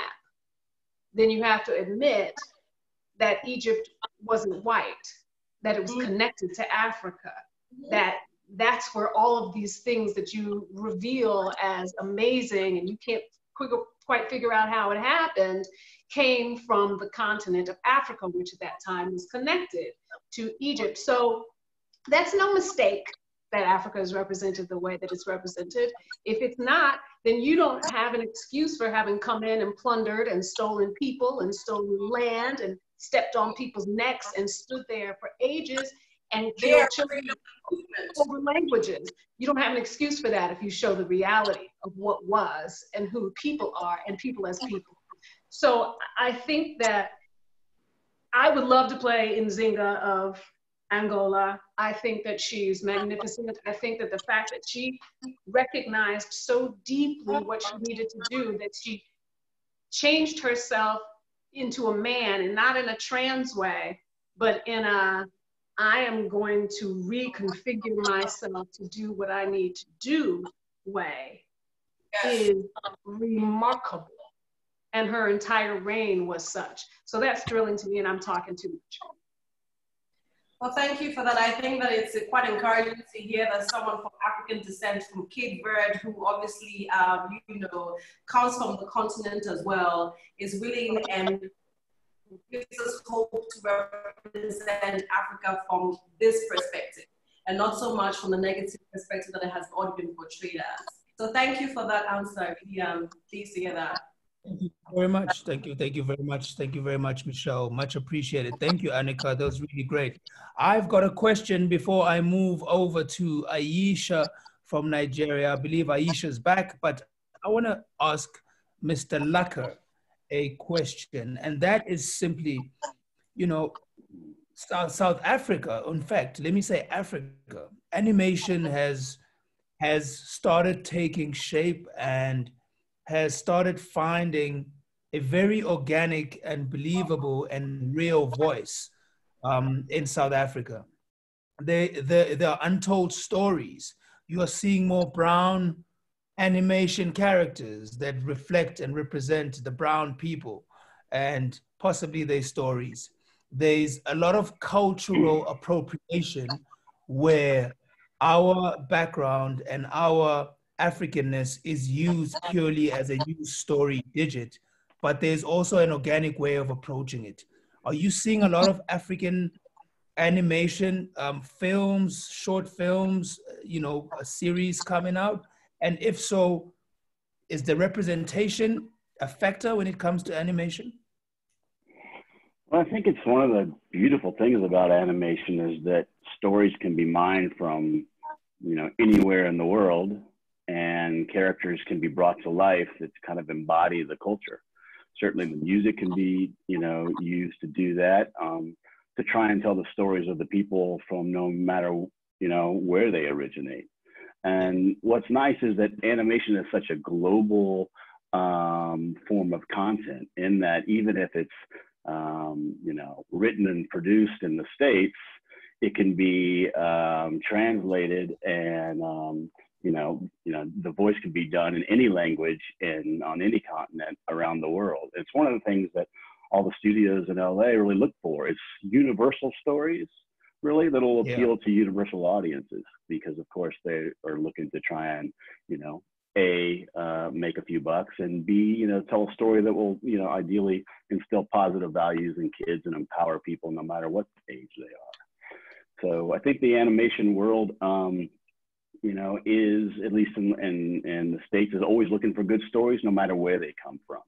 And if they've kind of, um, you know, dug deep into the U.S., already and kind of um, dug up everything and, and in some cases, you know, repeated things that we're tired of seeing in the States and the rest of the world, then yeah, they're yeah. constantly looking for, you know, the next Lion King, the next Mulan, the next, you know, whatever, where um, um, there can be a great story told. I will say this, and this comes specifically from my experience in writing movies for Disney, is that they love finding true stories or true legends or true lores that have been um, handed down from generation to generation and using that as the seeds to grow, uh, you know, um, great stories that'll appeal to mass audiences. So, um, you know, I think it's, it's a great time really to be in animation. Um, yeah. and, um, and hopefully, um, you know, not only uh, U.S. based studios, but you know, animation studios worldwide will continue to to try and identify, and dig up, and tell the stories of of the untold. Absolutely, man. I couldn't agree more. Thank you so much for that, sir. Um, Aisha, I'm going to move straight to you. You've got a question for Enyinna Nwigwe. Um, and, and you also got a question for Samad Davis. So you are our lucky BET competition winner, and you get to ask both your questions. So over to you, Miss Shaba. She asked me mine early already. Oh, she has? Okay, okay. You've got one question. I'm sorry. I'll take it back. Okay, Aisha, are you, are you with me? Yes, I see you. Yes, the noise in the background was too much. Okay, no problem. So, um, with us now. Welcome, welcome. Thank you. So basically, I wanted to ask him. I've worked with you before, actually, which was amazing. With you? Oh, you. Oh, okay. Yeah, I do. Not me, Mr.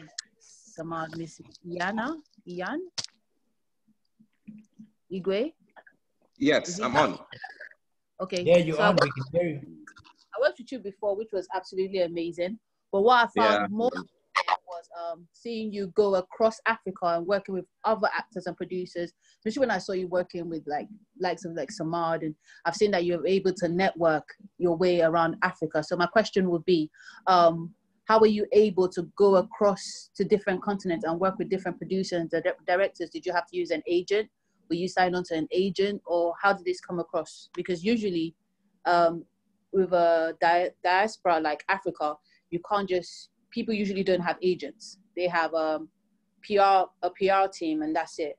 But um, mm-hmm. I wanted to you actually have an agent in these different countries that actually help you get these jobs. Fantastic. Um, hi, can you hear me? Yes, I can hear you. Oh, hi everyone. I'm so glad to be here. Um, yes, so I did you're Nigerian, of course, uh, you're You understand that we don't quite have the whole uh, agent approach to working. Somehow it's an opportunity, it's networking, it's, uh, you know, uh, building relationships. Yeah. You know, um, so I kind of using that foundation um, got into the international front through a film, uh, Black November, of course. I had uh, Oscar-winning uh, Kim Basinger, Mickey Rourke, had uh, that was my introduction. And uh, like Big Brother Malik said, of whom I'm a big fan of, from a designated survivor, by the way. I'm sorry, it's just a it's just a back echo. I don't know if it's another device close by that's. Is it just me or? I, yeah, I can always I can almost hear myself as well. Back. So let me, yeah, let me, I, I use an earpiece if it helps. Does this help? Yes. Does this help? Yep. Okay, fantastic. Yeah, so um, like uh, Big Brother Malik said, it's uh, firstly grace before you talk about the journey and the adventure. So for the journey, um, Black November introduced me to Hollywood. I was there for quite a while, uh, shooting and reshooting of scenes, coming back to Nigeria briefly and back to Hollywood. So uh, uh, post Black November, I kind of figured, uh, kind of like assessed um, the Hollywood space. Everyone from back home you know, uh, friends were supporting, oh, wow, our guy is now in Hollywood. But I kind of saw it kind of in a different way. I, I figured I couldn't be more, possibly be more American than uh, Chadwick, for instance. You know, uh, he couldn't be more Nigerian than myself. Uh, staying back in Hollywood to pursue uh, the career, being that I have the opportunity now with the right papers, of course, the old one that allowed me work and everything, and working with the kind of people I worked with would have taken a lot of work, focusing on a lot of things that I can I, I can actually apply the energy to back home, which was an industry that was growing. You know, I kind of sensed and saw uh, a, a picture of where of what the future of Nollywood would be, uh, looking at the trajectory at the point in time, and I knew that okay, even if I came back home, I didn't want to get back into our straight to DVD films. Uh, we have now the cinema structure growing, and with technology running as fast, things were bound to change faster than we could calculate it. So uh, I looked at all those uh, those factors, and I figured, okay, let me go back home, be very intentional about the projects I apply myself to, build a market, and have a reason to step into Hollywood and negotiate my on my terms, you know, in that sense. So it came from a place of, okay, if I did the right films, they would go to cinema, and the films that go to cinema go to uh, film festivals. Film festivals are hubs. You know, uh, it's a confluence of all sorts of uh, filmmakers from around the world, and then you can find a way to network. And since you don't have the advantage of uh, uh, of uh, an agent agency kind of like a system, then you can do it on your own and network and hopefully you end up on the right platforms and you get seen by more eyes and you know that works new media emails the next thing you start to get uh, the self-tape auditions. I am in Joburg Film Festival. I, I meet um, the amazing man here, Samad, uh, in December last year, and by January I'm working on Kings of Joburg with the amazing Ferguson's. You know, so that was always the way I saw it. That if I positioned myself right, and if I had the right intention, and I did my part of the work, the law of attraction would be in my favor. You know, so pretty much that's how, how it's played out. So it's been one call after the other, one email after the other, and it's still the same answer when I ask, because for me, it's a journey, it's an adventure. It's me also trying to create a path that had not been created before, because there's no actor from Nigeria, Nollywood, literally that makes a crossover. Black November was a crossover film by a Nigerian producer director. So I was cast by a Nigerian. So it wasn't like a Hollywood production cast me for the film. But how to cross over into Hollywood was the question after the opportunity, you know. So um, it became a case of trying to uh, connect the dots, you know, do, uh, do, do, do the right positioning and hoping that things uh, will uh, eventually come together. And I'm grateful that uh, pretty much how I, I saw it uh, is pretty much how it's panning out. So now um, it's easier to, to step into a, a space knowing that you have um, this body of work, this huge, nice, uh, decent catalog on Netflix for a Nigerian representation. Yeah, people can hear you speak and realize that you can speak in a way that the world can hear you, not necessarily with an American accent, not necessarily with a British accent, but something that sits right in the middle in a way that you can be a lawyer in a Hollywood film, but then you have an advantage because you're coming with a market. Now we have a market in Africa and Africans consume their own product. So I kind of had to find my own way around navigating that to the point of visibility where I can now say, okay, if I went to Hollywood and I wanted to sit down with a potential or possible agent, what am I coming with? I don't want to be the last in line because I have to get through all of the African American, um, uh, the Black American actors before I pitch myself. But coming with a, market value of some sort and a body of work from a place that uh, you know can add value commercially to whatever projects anywhere in the world, being one that believes in possibilities, you know, uh, then then it's it, it's most likely going to be a, a, lot easier. So my journey has been from positioning and uh, you know all of that, and Grace, of course, uh, covering everything, and yeah, pretty much in that uh, that line.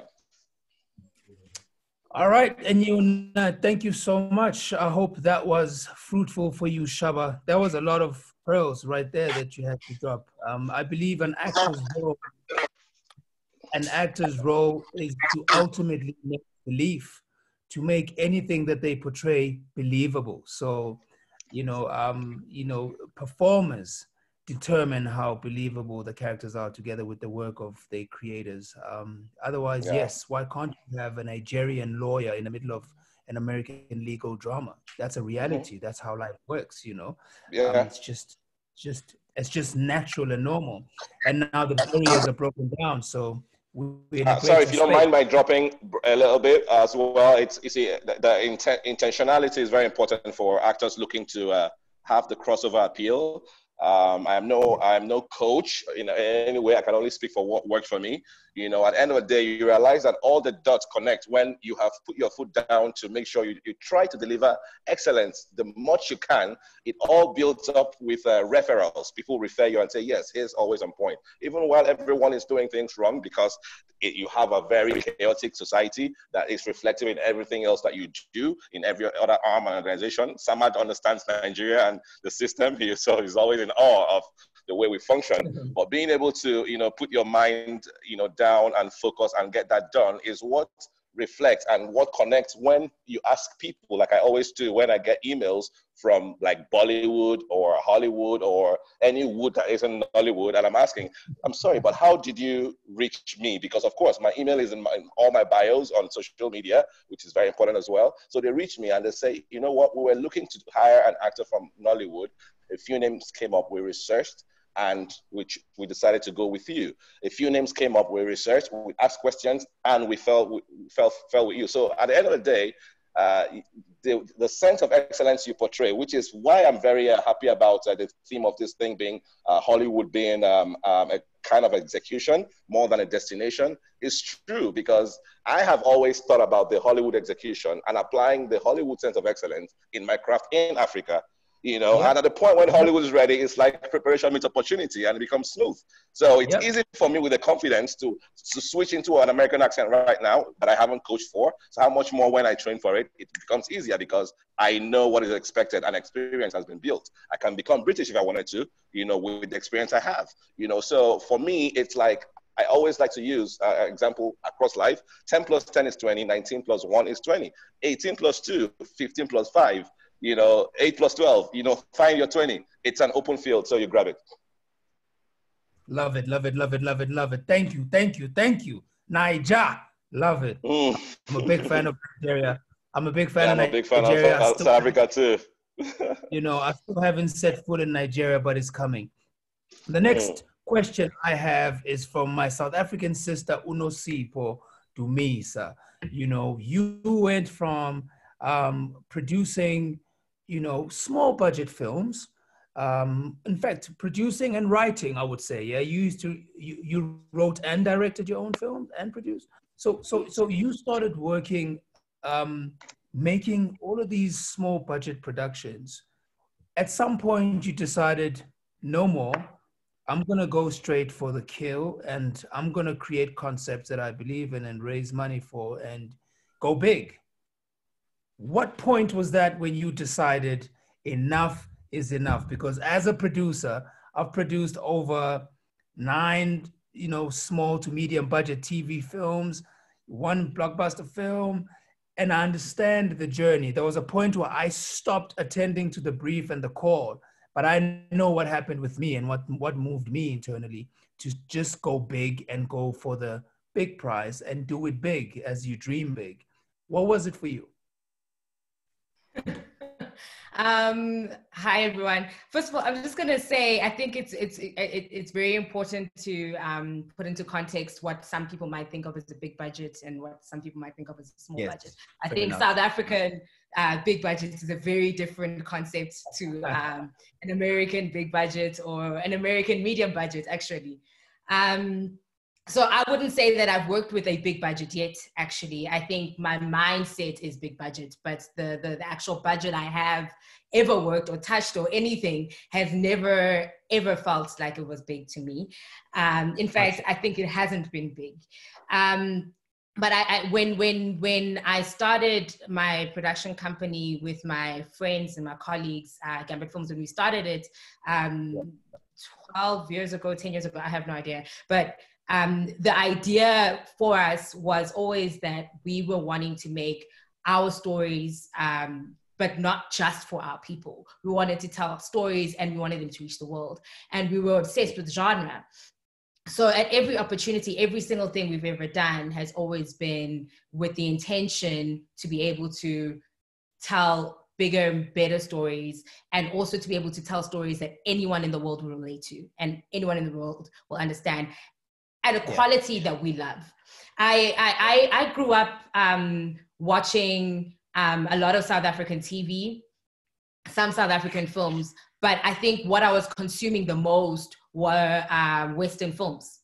Um, um, Hollywood films, specifically Hollywood content. My parents made the mistake of getting me a TV and they put it in my room, and I would stay up late at night and I would watch whatever was on TV at any given time. So genre was something I consumed. So for me, the first opportunity that I got to actually start to make films were through short films and and even in the short films everyone is always kind of uh, looking at looking at us looked at us as gambit films as the audacious group of kids. We were those audacious kids who would come with these big ideas and everyone would tell us they're not going to work you don't have money you don't have the skill you don't have what it takes and we would just go out there and try and do it. And most times we did it and we did it well um, we've still got a short film that we did called Precious Metal, which is like a, a little sci-fi short that we've shopped around. But that led, you've seen it? it was it was like it was, you know, we were doing that with nothing. We literally had no money. We did that. Yeah. We begged Yeah. everyone favors, like, come on, guys, let's do this. And even when we did um, number 37 as a short film, we knew our, our budget for what it, the real amount on screen was way more than what we had Really? to work with. That's always it, it's always been our, our, our, approach in, in how we make anything. And, and I mm-hmm. believe the and I want to just touch on what was said just before now is that you know it's such a it's a mentality and you attract the things that you put out if you want something and you work for it and you're passionate in it and you don't think of the limitations around you but you rather think well there's so many ways to skin a cat how do i do it then you do it and you go for it. So now I'm working on a, a on a Netflix series, and a lot of people think, oh, big budget, but again, it's a Netflix local series. It's it's it's a Netflix original, but it's done in the South African context. It's a bigger budget than I've ever worked on, but I know there's more. And I think at every point is to look at what do I have now, where do I want to go, and and how do I take what I have now and get it and, and let it take me to where I want to go. Um, number 37 short film opened a door to do a soapy. Um, that soapy gave me bread in my tummy to keep me going to What- then go, okay, was that? Which um? Suidooster on uh, kykNET. Um, Oh, which, by the way, I never thought I would do Afrikaans. I don't speak Afrikaans. I just want to be very clear. I don't speak Afrikaans, but I was ready for an opportunity. Opportunity came. I was like, okay, I'm doing it. Whatever. Let's let's, let's go for it. And uh, yeah so so so and, and and that kept us going long enough to then be able to do our feature film number 37 which then finally had the world premiere. And by the way we did a short film of number 37 and we submitted that to south by southwest and it was declined. They didn't take it. And we were audacious Wow. enough to go well, we're submitting it again as a feature film now and you have to pay attention now because it's bloody good and we had no money to make it so we really need you to like it so other people will know about it. And um and you know what? We were, we were lucky enough that based off that short film we had a sales agent an american sales agent who took notes of the short and said we want to rip the feature before the feature was even done. And and and that helped us get into south by southwest which then helped me get representation in the states which then helped the Netflix deal happened, and now we're doing a series, um, which is a South African local. But we also, I'm also co-writing a feature for net for Netflix, um, which is Netflix North America. And I think for me, it's you have to always know where you're going, and it's not a moment that you switch. It's from the beginning, know where you're going, and every opportunity is Yeah. used to get you there. Okay. Um, that is just, you know, it's so inspiring to hear it. I think sometimes people's own words, you know, like they say, if if if the lion tells the story of the jungle, then the lion will always be the king of the jungle. But give the pen to the ant for a second, and you'll hear a special story. So for me, I, I really enjoy hearing the perspectives you know um, i live in south africa with you but the detailed version that i'm getting from you is really inspiring big up for that and thank you so much we've got michael from the usa um, who's got a question for anika do we have michael is michael with us mike michaels Yeah, I'm here. How y'all doing, everybody? how you doing mike michaels I'm sounds like a superstar name mike michaels In the making, brother. All of us in the making. Um, yeah, so my question is for Anika. Um, first of all, uh, congratulations, Rattler. I'm a fellow Rattler as well. So big shouts to you. Um, fantastic. Thank you. Um, so you've played a wide range of roles from Dreamgirls to Power to being Disney's first African American princess. Like, there's the versatility is amazing.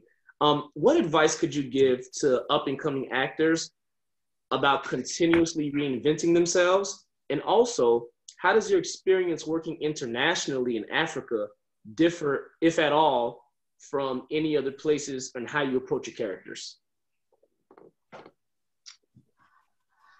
I I would tell actors want coming up now doing you know wanting to be in this to be nosy pay attention to everybody i watch people and and i always have because i find people intriguing um, and i think that's a big part of being able to go from one person to another person, you have to be able to find things outside of yourself to represent the characterization.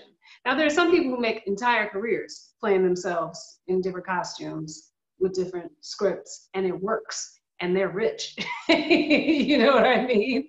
Um, so I'm not knocking that either for me, I find it intriguing to be able to um, to embody someone else um, as completely as I can. Um, you know, there will always be parts of you that come with you because you are a complete human being, but it is really important to pay attention to the people around you and lay your lay your personal ego down to find someone else. Um, and I don't mean ego as in pride. I mean id as in, you know, you, the you that is inside of you. Um, second question you asked, do I attack character differently because of international work? No, I don't think I attack character differently. What I have been able to do because of international work, for example, the first, the pilot that we did for Number One Ladies Detective Agency, um, what happened? Can can can people mute? Can everybody mute um the the background while we? Michael, are you still there? Mike, Mike? Michael, still there? Yeah, Yeah, I'm Mike. still Okay. So for the pilot episode, I only actually shot for 11 days. And I I was allowed, Anthony Minghella was so magnificent, who was the director, writer. I lived in Botswana for that pilot for two months. I shot for 11 days. When I tell you I was everywhere in Botswana, in the morning, the women who cleaned in the hotel that I lived in, I lived on the bottom floor, and it was sort of like a, um, it was almost like a bed and breakfast. It was more of a house than a hotel, which I loved and the food was exquisite. And uh, these women would come through in the morning and they would be doing their jobs and doing their work. And I would hear them talking to themselves. Now, anytime you hear people, people, especially in, in service jobs, when they address you as the person who is receiving their service, their energy, their speak, their demeanor is going to be different. When you hear people speaking with themselves, and people who they consider to be who they don't have to serve, who they don't have to be something else for, that's when you hear a true person. So every morning, I would hear these women come doing their jobs, not knowing that I was listening. And because of that, the things that weren't written in the script were things that I was able to bring, like, eh, eh, oh, all of those sounds and exclamations and some words that I don't remember right now um, that I added to the script because of these women that I heard every day. I went to a wedding in the bush. I went and ate at people's houses. I was as much of the land as I could possibly be. And I made friends in Botswana that if I called today would stay, say, come, stay with me.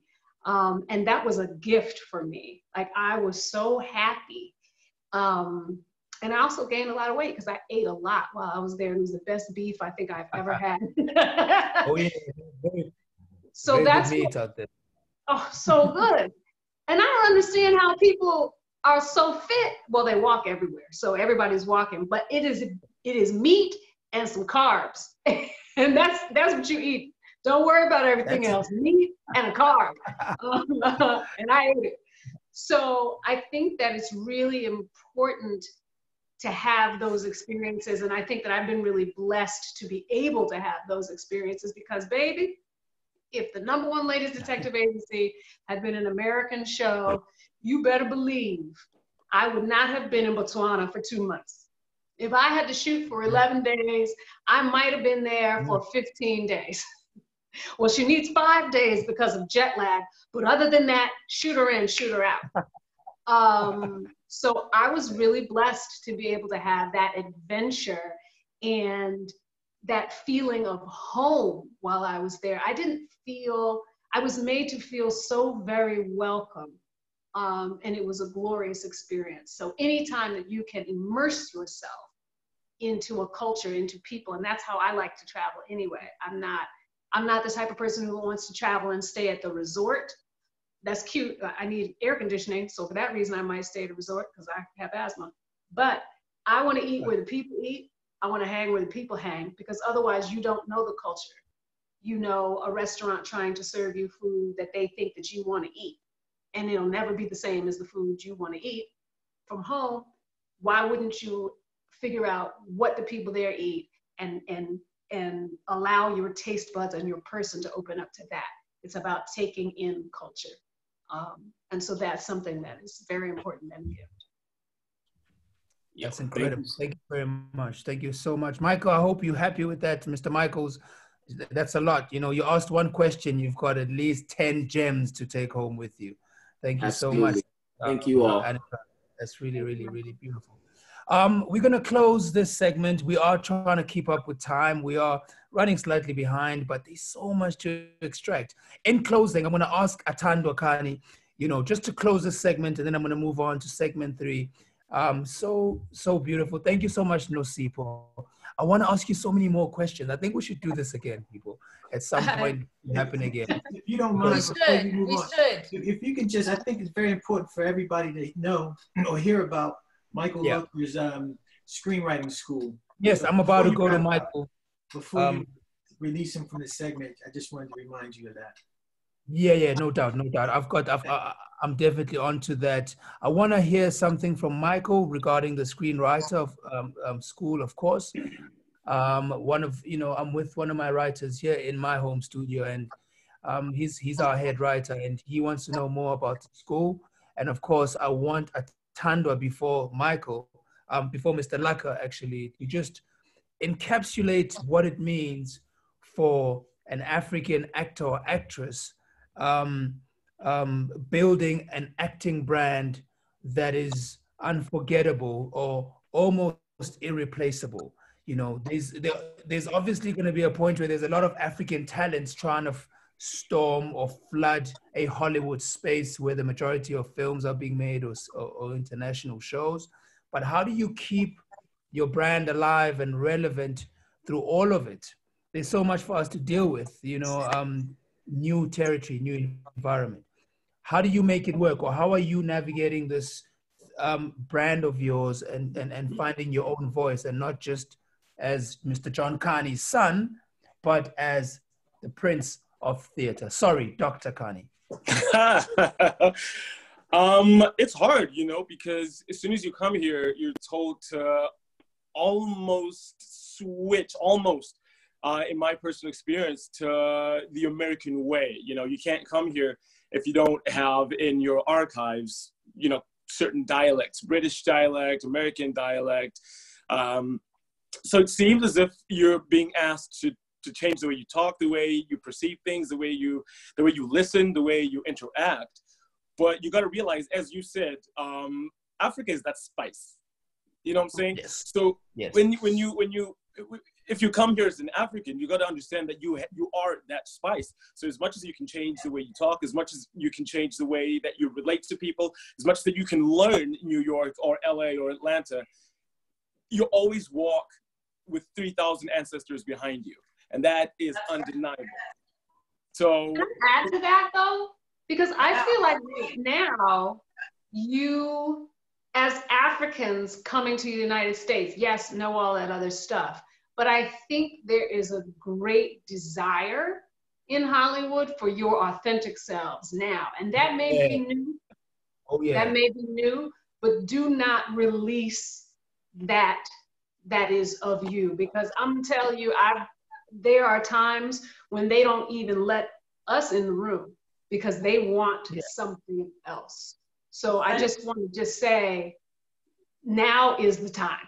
and since since we're talking about how do we individually navigate Hollywood, um, I think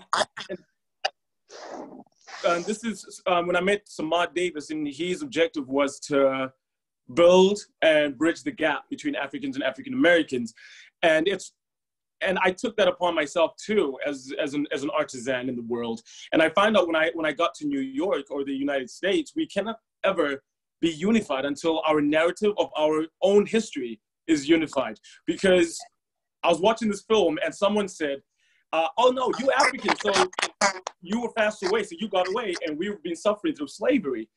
And immediately I wanted to respond and say, no, hold on, but we were colonized and then there was apartheid, which became a law, and then we were imprisoned.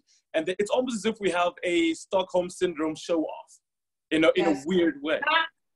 I think that's very interesting because I also think that, and this is not me trying to be better than, smarter than, more worldly than anyone, but I think that there is a lack of knowledge in America of our history. And when I say our history, I mean yours and mine together and what that means.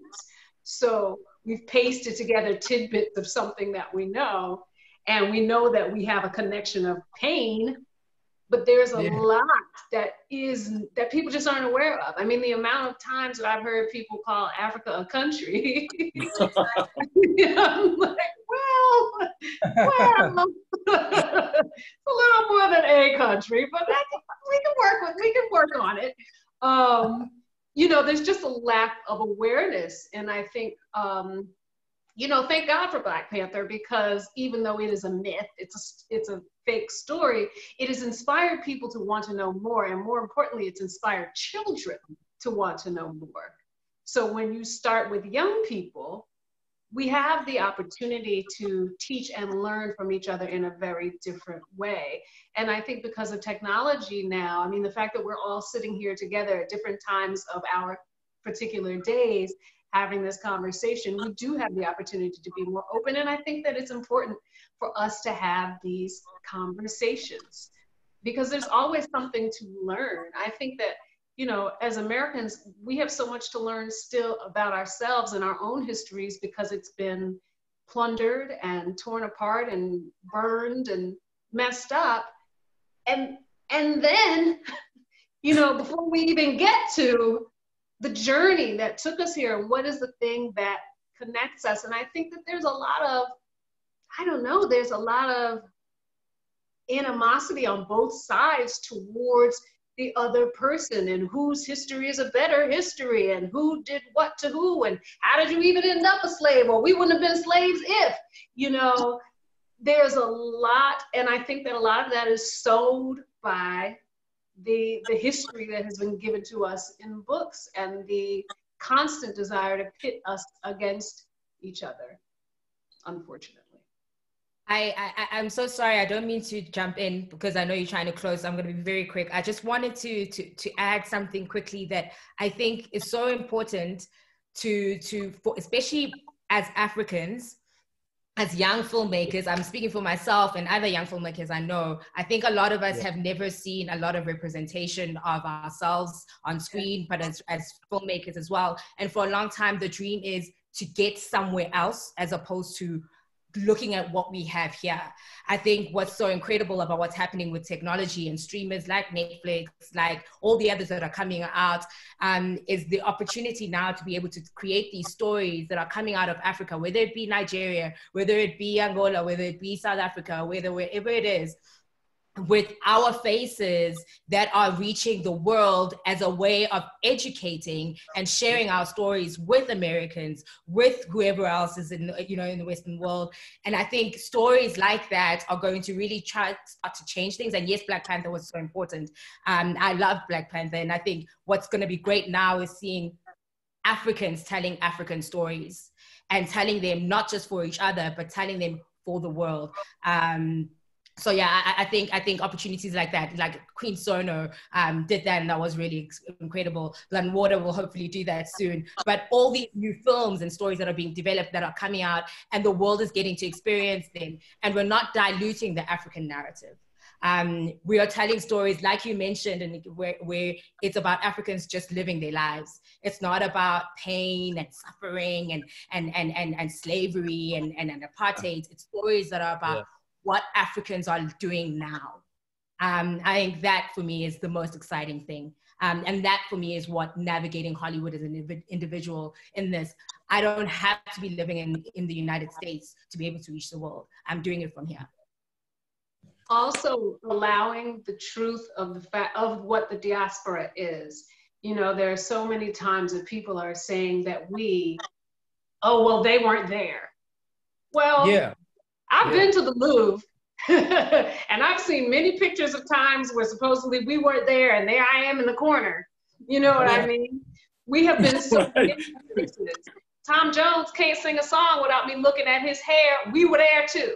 So it is very important for us to really not allow ourselves to be put and kept in one place because we don't exist in one place. That's very everywhere. That's very true. Thank you so much for that. That's that's the wealth in all of this, my lord. Thank you, thank you, thank you, thank you so much for that, Anika. I'm gonna go straight to you, Mr. Lucker, so you can help us close off this very segment. Um, it is it is tough. We're gonna have to race to the last segment, um, but we're gonna extract the value. We're gonna get there. We're almost there. So, Mr. Lucker, over to you, sir. My writer here wants to know how your school. Um, firstly, tell us about your screenwriting school and how do writers get a chance to show each other each other's work um, outside of the norms that we know, the markets, you know, um, um, the sales agents? How do we, how do script, how do writers amongst themselves start trading content and helping each other get the cultural nuances right, helping each other understand how to translate different cultures, especially African cultures and cultures outside of America, for example, in your case? Sure. Can you guys hear me okay? Yeah, yeah, we got you. Great. Um, so to answer your first question, um, I've been fortunate to be teaching screenwriting at universities here in Atlanta since I came back here from Los Angeles and also launched my own workshops called Screenwriter School. And uh, mm-hmm. uh, Samad mentioned um, I got a, one coming up, uh, starts next week. For the longest time, I've been teaching them at Emory University, and it's been a weekend workshop. But now because of what we're all going through, I'm taking my workshops online. So students literally anywhere in the world can join us um, every Saturday for six weeks from May 16th to June 20th from 12 p.m. to 2 p.m. Eastern Time. And to sign up, they just go to screenwriterschool.com and all the information is on there. Um, and then I will send a link and then uh, you'll get basically 12 hours of me teaching um, you how to write screenplays the Hollywood way. So that's one thing. There's also um, forums and chat groups and alumni groups we put together through the Screenwriter School on Facebook. You can follow it there too. Um, so that people who are learning to write scripts can commune with one another, get feedback from one another, and um, um, ultimately share their ideas as you're saying. In addition, there's all kinds of great programs out there. Um, in order to share your work with the world, one thing to consider is uh, blacklist.org. Um, if you all don't know that, it's a great place to get your content out there in the world for, you know, uh, developers, studios, networks, agents, managers, buyers of all sorts yeah. to see from everywhere. And also film festivals um, continue to be a great place, you know, that offer um, an opportunity for screenwriters to have their work read, if not seen as a film. Yeah. And uh, the best website that we use, you guys all probably know for getting your films out there, is Film Freeway. And I think it's filmfreeway.com. Um, but what a lot of people don't know is that there's about 900 screenwriting contests that are on there um, in addition to the film festival contest. Yeah. So it's a great way to kind of generate exposure. And it's a great way that we can bring all this information to the fore and really empower um, um, the artists um, all over the world, especially our continent, you know, of the beautiful Africa. Thank you so much, Mr. Lucker. Thank you so much to Thank every you. single person. You know, Nosipho, Nyabonga Siswami, that's Zulu for thank you. Those of you who don't understand Nyabonga. bonga mina bonga Yeah, man. Thank you, Mr. Lucker. Enyinna Nwigwe. Thank you, brother. I'm coming to Nigeria. You're the first man I'm calling. Um, um, thank you, Atandwa Akani. Bro, I, I, I pray for all of you out there eh, in New York, and I cannot wait to see you guys again. Keep doing you, my brother. I appreciate it so much. Miss Anika Noni Rose, you're an inspiration. You are what I call a screen siren. You light up the screen whenever you're on it and I appreciate getting to interact with you through the digital godly platform that we have going on. Much love and respect. Segment two is done. Thank you so much. Bye, y'all. Everybody. Thank you very much. Thank you, thank you, thank you. Whew. yeah, thank Cool. you So, um, Atandwa, love you, bro. We love you. Take care. Um, segment three, ladies and gentlemen, we're gonna move straight to it. Thank you so much to my BET competition winners. You guys are phenomenal. I'm loving the questions. Um, so much to learn, so much to know. The next segment, which is the final segment as we race against time, but please, I ask you all to just bear with us. Segment two panelists, if you want to stay and join the third segment, please do. If you do exit, it's all love and it's all respect. Keep doing what you're doing, keep shining. Our next panelist group consists of these amazing individuals. I'm going to run through them as best as I can. So we have, first and foremost, um, leader at BET Africa, um, Mr. Monde Twala, the man who helps keep the continent abreast and helps keep us all connected by giving us a pathway and a portal to great content, but also providing us platforms to make sure that we can express our African artistry for the global scale and for the global audience. Smiley, Mr. Twala, welcome to the conversation and welcome to the room. Sanibonani, hey everybody. How you doing? You I'm doing, sir? feeling, You I'm good? doing. Uh, You are doing and you are feeling. How are you doing under lockdown and how's quarantine life? Uh, uh, you, you still have all your hair? Uh, no, it's all gone. but it's not. It's, it's gone from the stress. It's more stress than anything. Now, all is good. Um, uh, excited to be on this forum panel. Um, I've been listening Yeah. in. It's it's uh, it's been great knowledge sharing, um, and uh, I think this is what uh, that's the power of uh, that's the power of being African now is that we've got so much knowledge and uh, experience, a wealth of knowledge and experience. Um, and by sharing, um, I think we can collectively, you know, definitely change the space. Yeah. Um, I'm more excited about, you know, shifting. You know, I'm more excited about shifting the topic. Uh, more excited about how how the world uh, positions itself in Africa, and and and obviously, I think um, you know, from from where we are now, you know, I think uh, uh, a few a few people on the uh, on the panel have expressed the, the great opportunity that Africans have in terms of the authenticity of the African story um, is is quite a game changing approach. I think the world the world is run out of stories, they, and Africa's uh, Africa's next. Absolutely. It's like I say, you know, we are that spice. The world is like, let's try something new. You know, let's open the top drawer. We right there. So I'm I'm I'm definitely with you. Next, we have in this amazing group um, a man who has, you know, shaken screens for a very long time and consistently without any sign of stopping.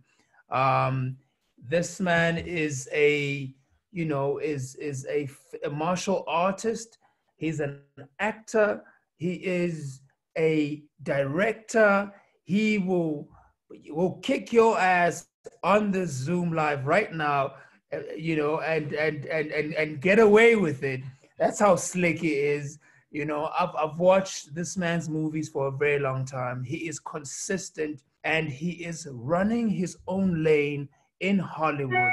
Ladies and gentlemen, we can't clap. Oh, in fact, we can clap or we can give a big thumbs up for my man, Mr. Michael. Um, Mr. Michael Jai White. I'll say it again. Michael Jai White. Welcome, sir. Thank you for having me. Happy to join you. Thank you for joining us, you and your entire voice. You you rumbling through all the the countries. You know, um, mm. welcome to welcome to the platform and welcome to the room, Michael. I have so many questions for you. I had a good six questions, and my team told me to tone it down because we don't have that much time. so I've got one or two for you. So I hope you can stick around for those questions as well as the BET winners. Um, the third panelist that we have on this group is a lady that I've just recently gotten to meet because she is the co-producer and co-founder of the Blueprint series, amongst um, many other things that she does. She's also the co-producer, um, and and and she is, you know, founder of um, w, WSA, um, and she works hand in hand with Samad. I've gotten to research her and really know more about her offering um, in casting, in creating and building careers. Um, you know, um, when I first saw her face, I was like, "Is that Oprah on our group?" I was like, when we had our first Zoom, I was like, "Is that? Am I seeing right?" And and I got to know her, Miss Winsome Sinclair. Welcome, my lady.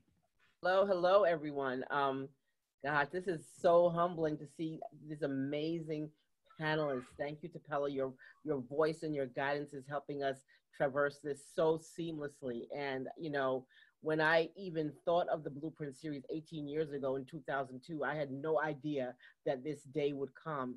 I am I'm I'm truly humbled to hear the conversation that we're finally having across the waters, across the continent to Africa, and um, I'm inspired not only to be here today because I feel like even with all the social distancing, I feel very present and connected to everybody that's been on this on this Zoom. So um, what happens from here, I am sure will be magical because um, you know we are a people that can create and make you know um, magic anywhere. So and thank you to every single panelist. We could not have done this without you, and most especially thank you to um, my brother who took us across the water um, Samad, thank you so much for being the captain to steer this ship and making this happen. And everybody on the team, my partner here in in um, Atlanta, everybody on the Blueprint team here in the United States. We are thankful to every one of you guys. Thank you for having me. Thank you for joining me, I should say. Thank you, thank you, thank you so much, Winsome. Thank you so much for making this whole entire experience a reality. It's really, really phenomenal. I'm learning a thing or two or 10, to be quite honest. Um, and last but not least, in fact, second to last, um, we have got a lady who is a powerhouse actress, um, producer, businesswoman. Um, and from what I've seen recently this week, just following her on the social media, um, a, quite a, you know, an, a, an undying and resilient philanthropist. I see all the work that she's doing um, throughout this tough time across the world, especially in Ghana. You know, a power woman, a powerhouse, a force, you know, um, incredible, incredible individual. I would like to welcome to this room Miss Joselyn Dumas. I hope I'm pronouncing it properly. Yes, it's okay. Thank you for having me. Thank you so much. Thank you, Joselyn. Thank you, Joselyn. We really, you know, I'm clicking like every time I see you changing lives and helping people. It's really beautiful, and um, yeah, we we we appreciate that. Last but not forever, and not least, you know, because we're gonna do this again. This lady is the lady that was quite instrumental in my breaking out in the film and TV industry. I starred alongside her in my first big TV role that introduced me to the South African market on a soapy called Generations. She was not only um, a big name then, but she was such a sister. And she was so accommodating when I was intimidated to work across such a powerhouse on my first big production in South Africa. But she was kind and she guided me and mentored me from a distance. And I could never forget those moments because I'm standing here today, almost 20 years in my career. Um, so, a woman I really appreciate, and a woman that the entire nation of South Africa appreciates. Um, a powerhouse, a producer, a fine actress, and a family woman and a businesswoman who has built a brand and expanded on so many levels and taught us a lot about endorsement deals and branching out into corporate as an artist. Ladies and gentlemen, lastly, I'd like to welcome Mrs. Connie Ferguson of Ferguson Films. She, she, she's going to be joining. She's going to be joining us shortly. One sec. She was on earlier. She just let me guess. She's running an empire, isn't she? Queen Queen Ferguson. She will join on back on. So you can just All right, cool, no problem.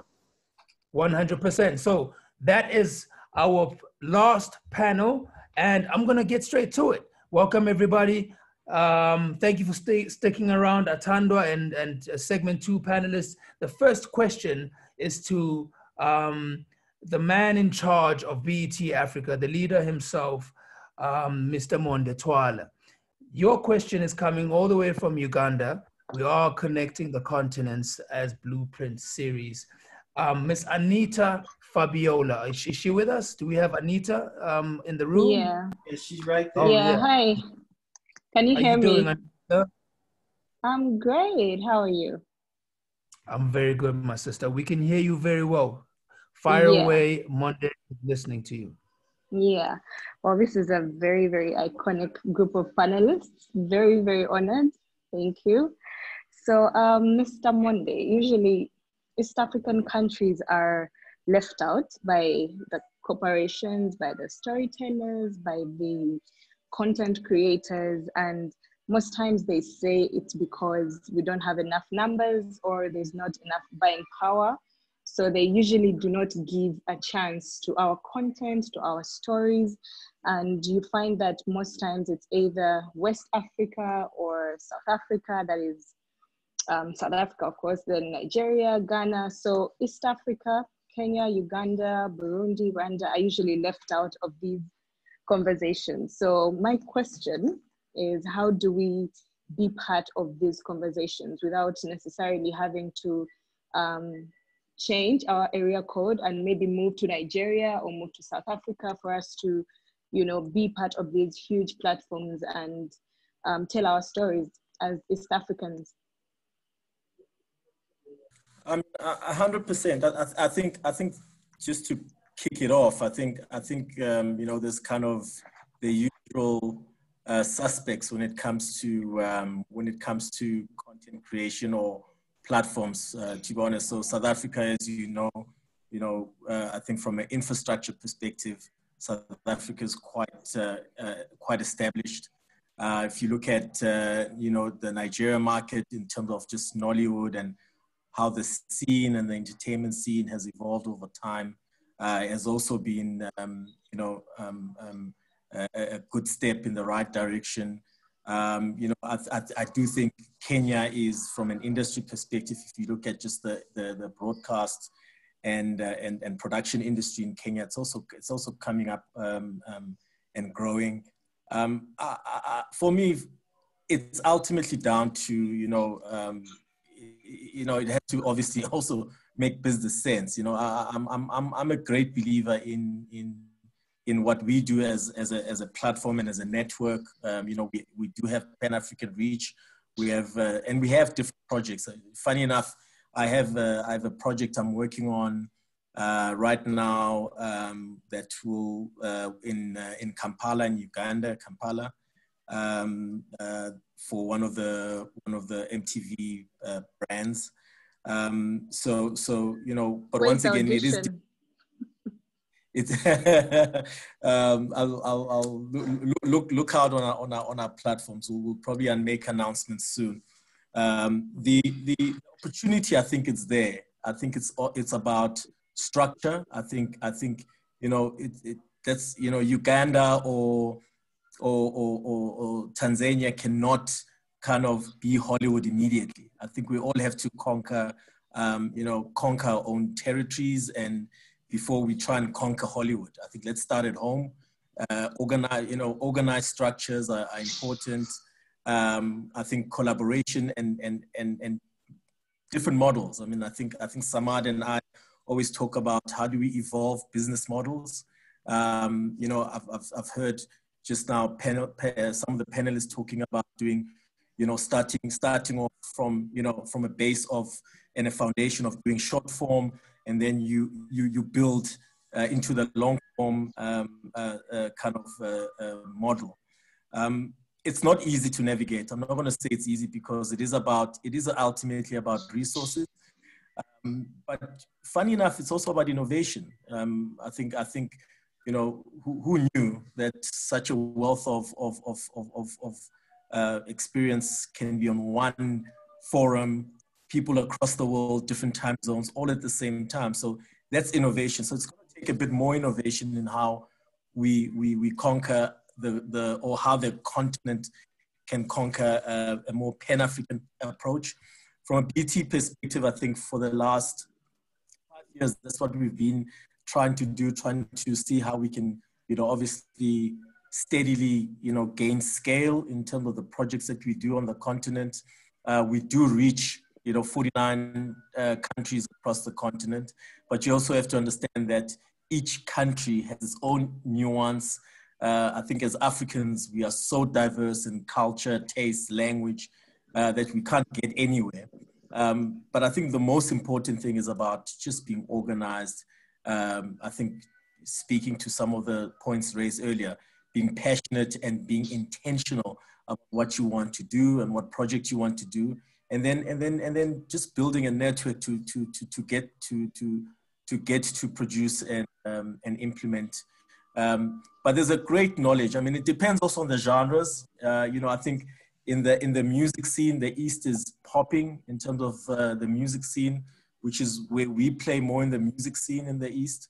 Um, uh, but you know, documentaries, uh, scripted uh, genres are also starting to pop up, um, and I think it's a matter of time a matter of time. Um, we need more forums like this that can unite um, um, yeah. and, and unite then to then open up to new projects and new opportunities. But uh, from a Viacom CBS perspective, for us, you know, we are building a Pan-African, um, you know, we are a Pan-Africanist looking for Pan-African opportunities. Um, you know, so we want to work, we open for business, we want to work with anyone. Um, okay. Concepts uh, that are that are broad. Um, but it has to be concepts with ability to travel, concept that can uh, that can also inspire. I think you know because ultimately we do this for audiences. Um, uh, mm-hmm. uh, but there's no African narrative. You know, I, I, I, don't like kind of giving this sense of like there's an. I think the African narrative is so diverse; it can be one um, because we are different. You know, we we come from different backgrounds, cultures, languages, experiences but a good script is a good script, guys. If you if you watch uh, the latest stuff, we're all watching Narcos, and it's you know it's in Spanish, and we good. We good. You know, we all binging and and are passionate yeah. about it. It's, if the script is good, it has to that that travels uh, and can inspire other people. You know, good storytelling is universal. Um, um, yeah. But we can't also just you know just expect it to happen we need the structure and the business models, and let's keep innovating in that space. Okay. Absolutely. Got it. Absolutely. Thank you. Absolutely. You happy, Anita? Absolutely. Yeah. Yeah, absolutely. Thank you so much, Monde. Appreciate that one, sir. Um, we're going to move straight on. We've got a couple of questions. I think two questions. Please try and make them quick and encapsulate them for Mr. White, Mr. Michael Jai White. These questions are coming from Liane Huete. Liane Huete, do we have you in our room? Is she with us? Liane Huete, one of our BET question winners. If she's Hi. not in the room, She's here. Is she here? Yes. Yes, she's there. Oh, Hi. welcome, welcome, welcome, welcome. Where are you? We don't. Do I see you? There you are. Hello. You've been here the whole time. How are you? I'm good, and yourself? Oh, good. So, Oh, good. Oh, Uh, my yeah. question for Mr. White. So the first question would be that uh, because your fighting style is to not be seen coming. So my question are my questions are basically like for personal development, and so and you also have said that you have a hard time portraying fear. What what does it take for you to make a necessary mental switch when you are in a situation that requires vulnerability and not tact in whether a role that you're acting or in real life? Well, um, with uh, with being a martial artist, um, I use certain aspects of the martial arts in everything in my life, which is really the most important thing is discipline. And so with this, with the art of acting, which I, you know, I've been doing as a professional separate from martial arts, uh, the, I, I then just apply that that um, resilience and that discipline to acting. Uh, so yeah, I'm, I know I mentioned at one time one of the most difficult things for me to play is is um, fear, uh, because um, I, it's it's something that um, we all have our strengths and our weaknesses. I, I tend to um, not be very fearful in life. And so to play the opposite of what I have, what I am, is just an acting, is just kind of an acting exercise. But it's really not too difficult um, when I have to do it. I really don't have a lot of uh, roles where I'm quite fearful. I have moments, but um, it's not it's not so much of an obstacle. Uh, so just the acting background, I just you know it's just a switch that I can remember when I'm you know I tap into when I was quite younger and might have um, uh, that kind of feeling. Okay. So Thank you um, very the much. second question obviously Second would be that how easy or difficult was it for you to meet and navigate the mindset of the kids you were a special education teacher to? Well, um, it wasn't it wasn't difficult for me at all. I've been on my own since I was 14 years old. I I one of the reasons you know connected to the whole fear thing is that I've um, I've had a life that there's a lot of things that you might see in the movies that I experienced firsthand. Uh, I didn't realize how crazy my life was till I got out of it. But um, I've, uh, you know, so I had quite a dramatic life, a lot of street fighting, shootouts, things like that. And I survived that. Um, I was able to, I found I had a, a, a, a skill in reaching children who were very much like myself. Uh, so I, I, I wound up teaching special ed, dealing with kids who were, like I say, were, were like me. So I understood them um, quite quite profoundly. I, I consider myself as one of the luckiest human beings on the planet because of where I came from and where I am now. So I'm still quite um, quite committed in uh, in um, outreach programs for kids who were like me and and I, and I you know I, I do motivational speaking around the around the world, not only this country but everywhere I go. I, I reach out to that because I my, my my firm belief is that I, I was saved for a reason. So I, I share that where, wherever I go. Thank you very much. Amazing. Thank you very much. Um, thank you, thank you, thank you, Liam. That was yeah, that was great, Michael. Thank you for just breaking knowledge there with us. Um, I'm gonna ask the next question to my sister, Miss Joselyn Dumas, um, out in Ghana. Um, you do so many things as an artist um, who has put her fingers in all sorts of places, like producing, Um, you've captivated different parts of Africa with the work that you do through your philanthropy journey.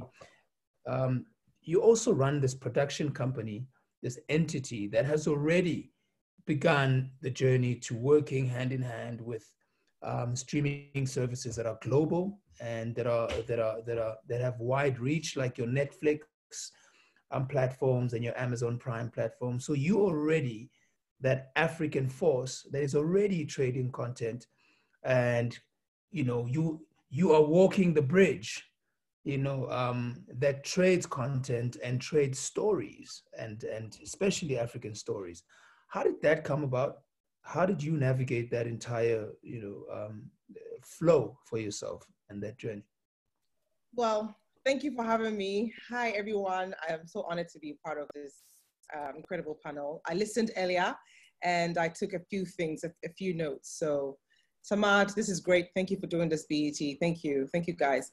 Um, it hasn't been easy. Um, I own a production company, but I haven't done things solely. I've co-produced a few of my content with a production company here in Ghana called Sparrow Productions. And I think that the thing that stands out and works for the production house that I work with, including mine, is the fact that we tell quality African stories. Um, I think that once your work is good, it's easy for uh, the likes of the Amazon Primes and the, like, the likes of Netflix to want to put your content on there. So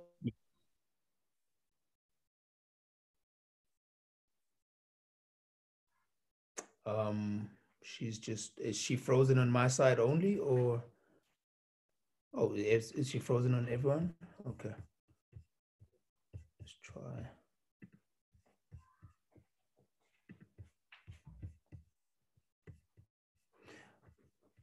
Sorry, everybody. Please just bear with us. Um, I think she's having connection problems. Yeah, she froze. So we're gonna just possibly just let's give it a um, just a couple of seconds. Hopefully, she does come back.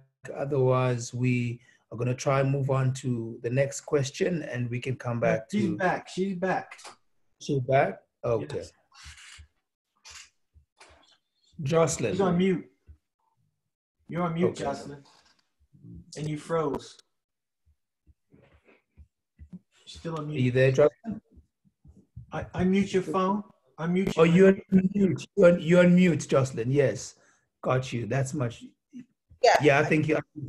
That's we got you. If you can just take that from the top. Um, we lost you pretty early in the in in, in your in your, s- in your Oh. talk there. Okay, so uh, like I was saying, uh, well, like I said earlier, I'm sorry, uh, but um, I think that it, it it's not. It's just a matter of working hard and shooting original content, telling an African story by us, and not saying you know changing the narrative a little bit more by showing the most beautiful parts of of, of Ghana as well. But I think that it has to do with quality, hard work, and um, you know, you know, persistency. You know, just believing in something and going for it. So, for instance, Sparrow Production will shoot a movie and portray, not portray the African woman as the, the stereotypical African woman who is probably uh, being abused or, or you know, and I'm choosing my words carefully, but we we try to portray the African woman as that strong uh, woman who can who can become a president if she wants to, or who who can get anything she wants to get. So with with contents like this, I mean, it's not you're not far from having like the likes of the Netflix and the Amazon Primes wanting to have your content. And obviously the quality of the production is key. So we're using Yeah. the right using you know the right technical support and obviously the right story. It's always important. Very true. Very true. Very true. Um, I've got so many questions for you, but I'm going to leave it there for now and come back to you later. I we've also got a miss um, a, a miss I think it's a Mr. Theron Smith. Do we have Theron Smith um, in the room with us? Yes, sir. You are here. Oh, there you are, sir. A fellow gray brother. Nothing wrong with that. I earned these grades.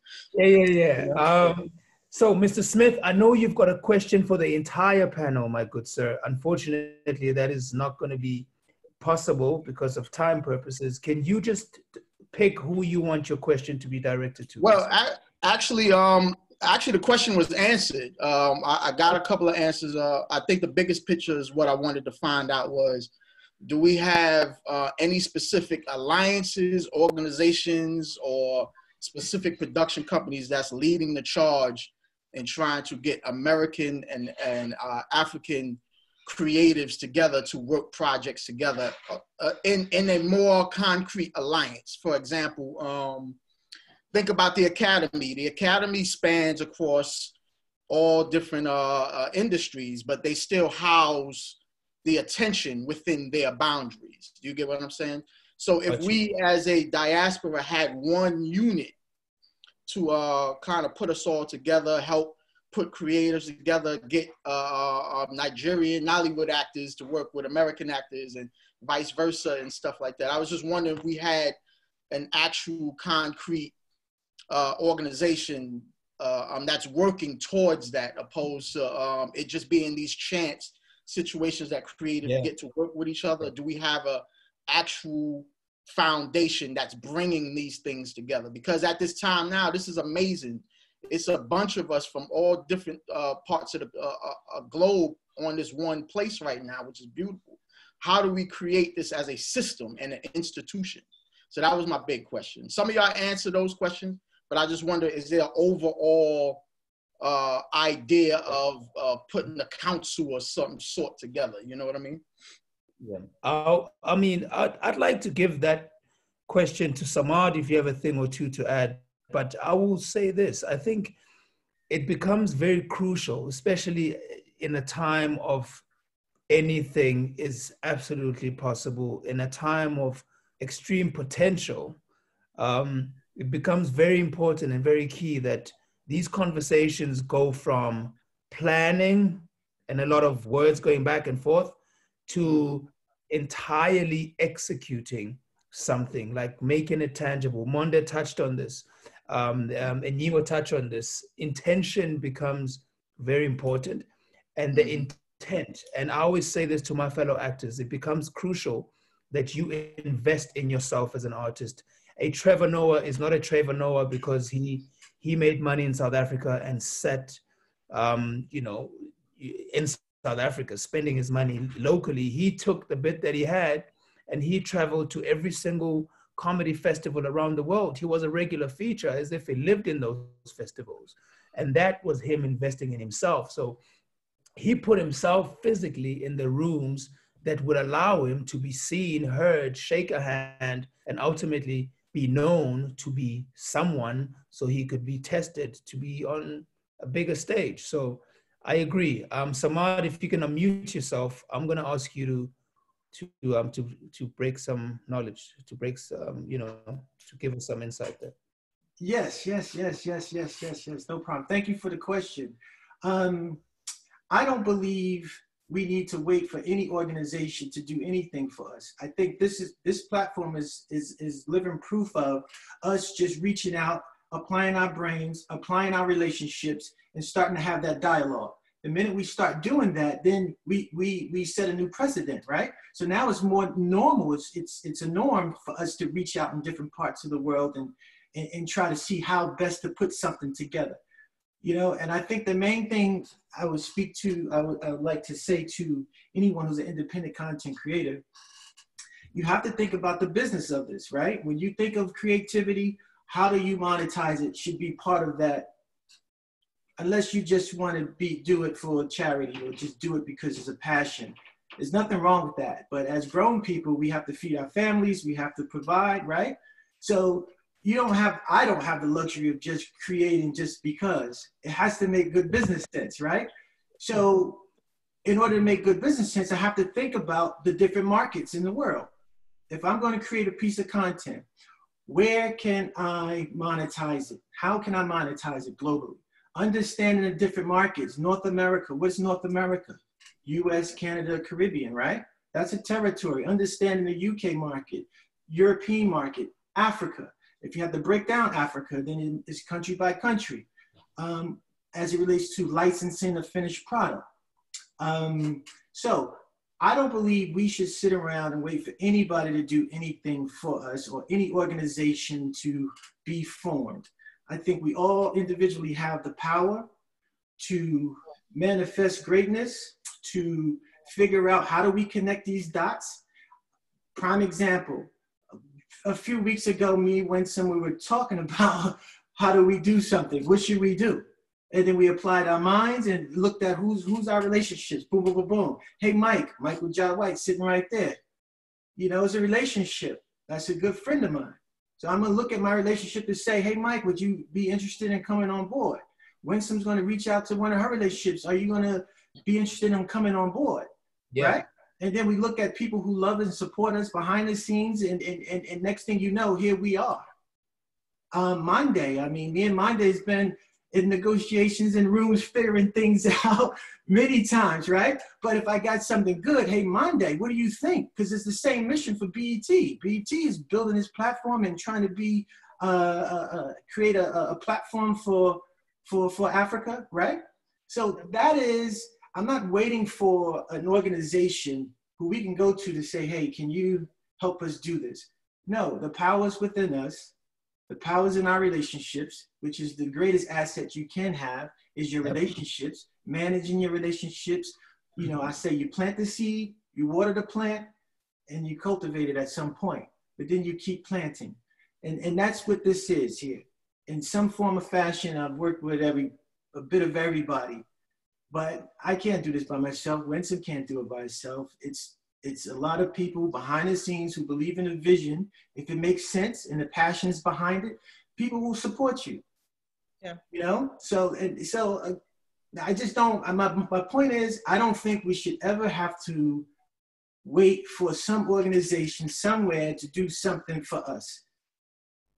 And um, can I clarify too? I, I, I wasn't really speaking on waiting as much as saying moving forward from this second right now. Like I said, we're all on the line right now. We're all Mm-hmm. smart individuals. I've been in the industry 30 years. I worked with Winsome. Um, that's how I got in the industry pretty much. So I'm, I'm just wondering from this point moving forward, what uh, um, what kind of resources can we get to to that that does the daily work of bringing us together? You, you understand what I'm saying? Not as much as just um, you know we all individually link up and we do something, put something together. But I mean, if we had a a system that was daily working towards putting us together, making things happen, stuff like that, what would that look like for us in the African diaspora of filmmaking? You understand what I'm saying? Um, I, I, have been watching Nollywood movies for, for over a decade, you know, and I'm from Brooklyn, you know what I'm saying? But I used to get the DVDs from the uh, the, the street guys, you know what I mean? And Beyonce versus Rihanna and all that stuff. That that's what got me into Nollywood, and I, even to this day, now that uh, Netflix has opened up and have more films, you see the growth and, and everything. I'm just wondering, um, uh, Yeah. what do we have that's just on a daily basis, kind of helping push this agenda? Now, I hear that. I hear that, Mr. Theron, and I think that's a very good question to ask. But also, um, in the beautiful part, Can I say so something? you got to, go ahead, Joselyn. Go ahead. you. But um, I, I see I, I see where you're coming from with what you're saying. But I think that also, I don't know what whether mine is also a question in relation to what you just said. But um, for instance, Kim said that before you can even break into Hollywood, you need to learn the American accent. Now, a story is a story. We all can't speak American. So there's a lot of Africans out here who are very talented who could probably be in a production in America. But then because of their accent, one of the reasons, one of the criteria is if, if it's not met, you're not actually going to get the role, or maybe you might not even make, make the cut. So now I like the idea of how do we come together and what are we doing? How are we bridging the gap between the American actor and even the British African actor or the British or the Black African actor? Because whether you like it or not, a lot of Americans, we, we, we feel, they feel that it's America and then the rest of the world. But then at the end of the day is for instance, black people together around the world, the same people. So how do we now come together? Let the past advise the narrative into the future. Yes, I'm not going to deny the fact that there was slave trade, it happened and it affected a lot of people, but then I've learned it in school, but how do I now use that as a tool to now thrive positively ahead? Because everybody wants to be progressive.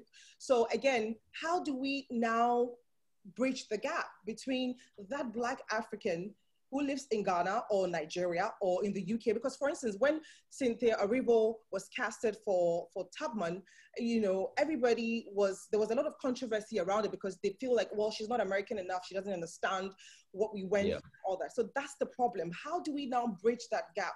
You know, and then work collectively. I think, like Theron is asking, to to you know to come together as one unit to shoot an interesting story. It could be an African story, it could be an American story, but how do we now, you know, combine forces because we are stronger? How, do, how do we turn it into a regular thing now? Yeah. Exactly, because we're yeah. stronger together. And the, the common enemy is not an American, a Black American, or Black African. The common enemy is out there. So how do we come together uh, as a unit to now address the issues that we're facing from the common enemy? You know and that's i think for me that is something that we need to use this platform for because i don't want to be i don't want to feel like a black african when i go to hollywood or yeah, i don't want to feel like an artist. like a black you know black american because you're home you know? So how do we come together as, as a unit? Because we're stronger together and that, for me that is what bothers me uh, and i'm sure a lot of people can relate to this particular question. Hello. That is the question. Um, Winsome, yes. Yeah, let me jump in. I think I, I, I hear what Theron is asking, and Joselyn, you put it perfectly. We are stronger together. And I think what Samad did, especially when we came together and did this, is exactly what he said. And I think that's sort of the blueprint and the template for moving forward. Get your resources together, you know, because that's your strongest asset. And we start like we put this together. We started talking about this less than three weeks ago but yeah. we in action every day. It yeah. is not just a notion. I think we are the quintessential example of you can get it done when you're when the yeah. passion and the intent is there. Mm-hmm. Okay. Three weeks later, we are here starting a conversation. I hope this is the beginning of a conversation that never ends. It's yeah. a conversation that's been long overdue. Yeah. And here we are now sitting talking with people globally around the world. When I started Blueprint, I was just trying to reach Harlem. You know what I'm saying? And now I'm here having a conversation with this is it is humbling to me, extremely humbling. And Thapelo, I think you put it perfectly. And I think um, Stephen, who was one of our team, the ancestors are behind us now. It is time to move forward knowing that we're supported. It's t- this is our time. It's not, if not us, then who? And if not now, then when? Absolutely. 100%. 100%. And, and, I'll just add two things. There's a lot of people out there with ideas. It's all about execution. And that's, that's what Winsome just said. I mean, that's what separates everybody. It's the ability to actually execute. You know, how many people yes. have you, you, you talked to that have an idea? You see them two years later, they're still talking about the idea. Three years later, you know, you have to execute. Just look through your Rolodex and see what resources, what relationships you have and move forward. The next thing I will also say is, as sim- I, I've been on sets where when it's lunchtime, everybody goes to their corner, right?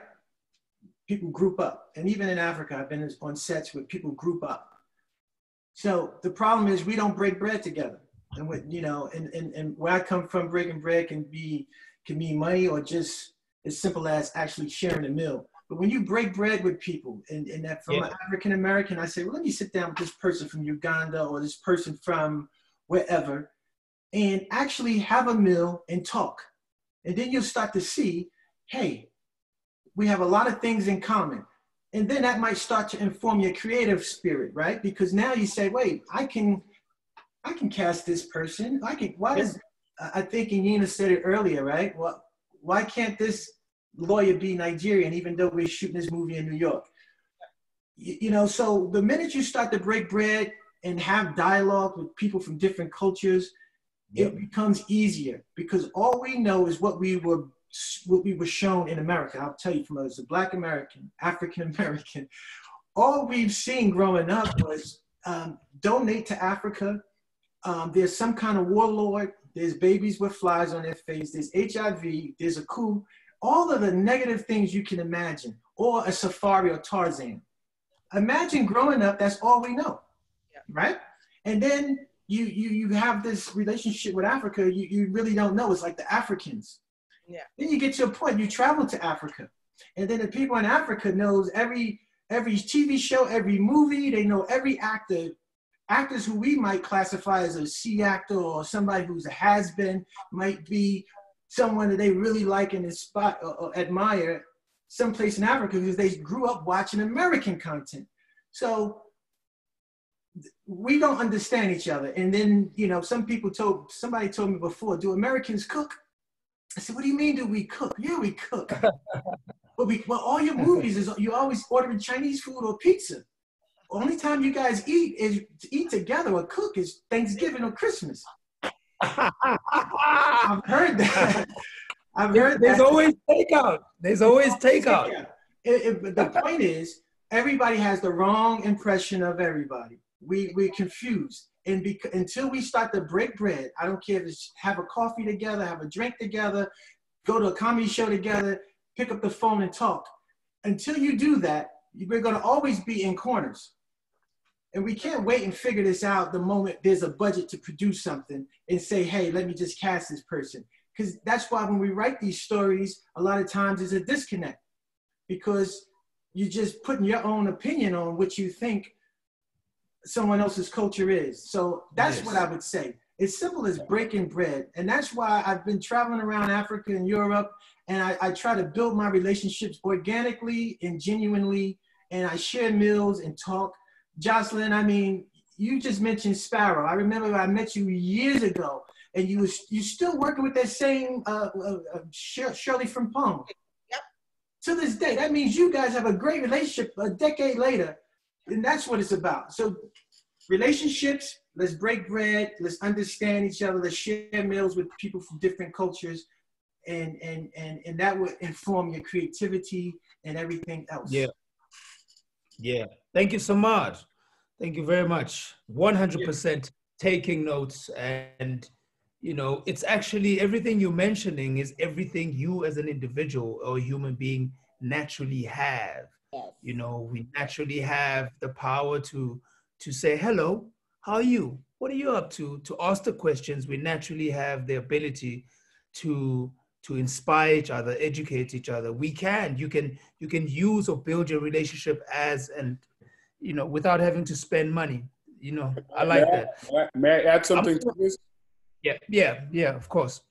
Yes, um, because I know you know this question. We've been dealing with this question, but I think Theron's question is is quite the the essence of why we're here. And I think I'd be remiss if we leave this conversation without some without a plan coming from it.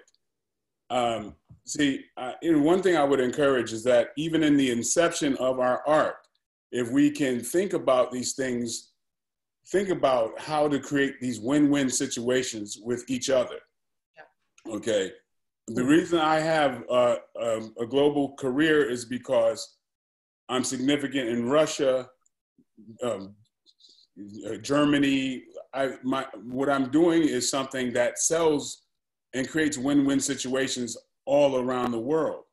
And now with that, because of action um, being sold all around the world, there's- there's a reason why the only Chinese guy we know is Jet Li or Jackie Chan and things like that. Because there's, okay, what do what do, do we get from each the, the cultures and stuff? Okay, so the thing is, if if in the inception I think of um, how because I want I want us to be global. This is why I'm here. This is why I've been shoulder to shoulder with Samad. Um, how how do I uh, help Joselyn? By but I'm I'm I'm concocting a a movie that I'm trying to sell everywhere. How do I sell to her her territory? How do I make it a win-win situation for her? How do I make it a win-win situation for this person who is significant in this part of the, the world? When we put those things together, uh, these win-win situations, they just pretty much take care of themselves because uh, we're not just only myopic in our in our view. Yeah. Uh, that's why I'm, you know, here. And I say, um, I love his question because, uh, hey, I mean, I feel like this is we are answering that question by being here. This is how Yeah. this is how we get Yeah. that done. Absolutely. Um, but you know, it it breaks my heart to see power in a room, and the discussion go in a circle. Not saying that that's what's happened, but this has happened often. That discussions can go in, and we uh, we agree with rhetoric that's that's uh, occurred before us and will occur after us. But if we said, let's eat at Joe's, at least Joe's revenues would go up. Mm-hmm. Yeah. Come. So, because, but so all, all, I'm asking personally, yeah. I would love a plan. And and when I say I'm raising my hand to say, call on me, any of you, if I can help, I will. All right. So that's what that's the nature of what this is. So um, I hope as we continue to speak, you're concocting that question, and so we can go. Ah, I got you know.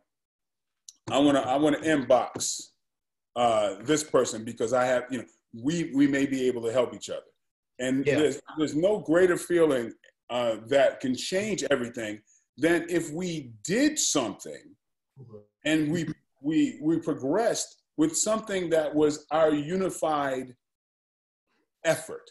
Yeah. yeah. You don't we don't have to speak about it because we did it. Mm-hmm. You know? Mm-hmm. I you know, and I don't mind if it starts here because it yeah. tends to grow. So yeah. if I can, you know, because Samad knows if I can do something that helps and I and I flew there to you know get fed and, and back, but I know this is a seed that's going to help. You'd be surprised at what you'd hear from me. Because yeah. this is about this is bigger than all of us. If to tell the world that we can we don't have to ask for what we want. You know we don't for us not to ask for what we want is priceless yeah we just got to get up and do it yeah so i just say hey let's continue the discussion but please let's follow up Absolutely. with a, with a tangible ask, you know, you know, a, a, tangible ask yeah. that we can, you know, yeah. put our efforts into action. And I must say, to add to that, the answer should come from us as individuals before we expect the answer to come from us as collectives. We all have the answer. We all already have an idea of what it is we want to achieve as an end goal. So to work it backwards is a beautiful exercise because you start seeing what you need to be doing or who you need to be talking to to get to where you need to get. And we live in a beautiful time where, you know, um, I can possibly reach a Michael Jai White if I really put my efforts to it and talk to him in under two, three days. I couldn't do the same 10 years ago. So we have, you know, portals, the channels are there, the digital era is beautifully um, linking us. We just got to know who we are in every room that we're in or every webinar that we're in. Thank you so much, uh, Mr. Quick, I just, I just want to close out my I, question real quick. Um, okay, one. I'm, I'm going to give you one more. I'm going to give you one more. I, I need to. I need to um, um, move on to one important yes, yes. panelist before she goes. No, go ahead. Go ahead. Just no, plant I, the seed. Did you plant the seed? I wanted to put an end on it is just that, you know, I, have I've worked in Viacom for almost 20 years. I used to produce Rap City. I used to produce Sucker Free. Um, um, even brought you on TV Raps 2011. But I've constantly been in a situation where I want to take my talents and bring it to Ghana or bring it to Nigeria, but I have no outlet to do that. Do you get what I'm saying? Um, well, no. like you said, speaking to somebody and breaking bread and meeting people. But like for me to just out of the blue, want I want to use my talents culturally to help yeah. the overall culture. You get what I'm saying? And I don't have any specific place that I can go to and say I'm going to bring my talents here for the bigger goal, not financial, not this and that, but just yeah. you know, besides the financial and the industry element of our uh, um, you know film, cinema, boom, boom, we are also cultures. You understand what yeah. I'm saying? And, and um, I think we cherish melding cultures more than just cherish uh, melding industries. You get what I'm saying? And my objective would be to how do I bring my 30 years of talents, skill set, and everything to anybody in in the diaspora to help them to build the culture up. Do you get what I'm saying? Yeah, and I think you just started. The first step is already done, man. We're sitting in this global webinar. Every what you've just mentioned now about bringing your 30 years experience and completely plugging it into Africa one way or another, it's mm-hmm. already done. You're already in the right room. So the beauty of being able to say hello and have a conversation has already set it off, you know, and and and and this webinar, just hearing that and being from Africa and in Africa right now, is as good as done. Hi. You know, I'm just saying hi. hi. hey, hey guys, I, Tap, I know you're moving forward, but I would not feel right if I didn't add to pull, pull it all together because I just listened to you all and you guys, that was so great. Um, Yeah. But I think what everybody just said is basically like it's like we need because you know individually we can connect together and we could pull our connections. But what the you know ultimately what Theron is saying is who leads the charge forward to form this alliance because we do need one and it should exist. That that is what the academy is. And it's like now that it's 2020 how do we create facebook the academy african diaspora version of facebook for us so that you know we can we can connect with each other? I shouldn't i shouldn't have to struggle to connect with you guys. We shouldn't have to struggle with everyone individually linking and and all of that. That is that is we're doing that because that is our struggle However, those that are in the academy don't have to do that. Every year in November, December, they get mailers, they get screeners. How do we send screeners to each other of our work? And it would be easier to do those things if we had our own organization, alliance, whatever it is. It does not exist for us, and where we're going to struggle until we get that. So mm-hmm. I don't know where this this conversation. I know we're going to continue this conversation forward, but wherever that conversation moves forward, it should be forming whatever this is because it starts with us. But that's it. Bye, y'all. And I just Power to that. Power to that. Power to that. I just want a little a little bit more on what Jakari said. Um, like Joselyn said, we are stronger together. And the whole impetus for this conversation for Blueprint as a whole is our people perish for lack of knowledge.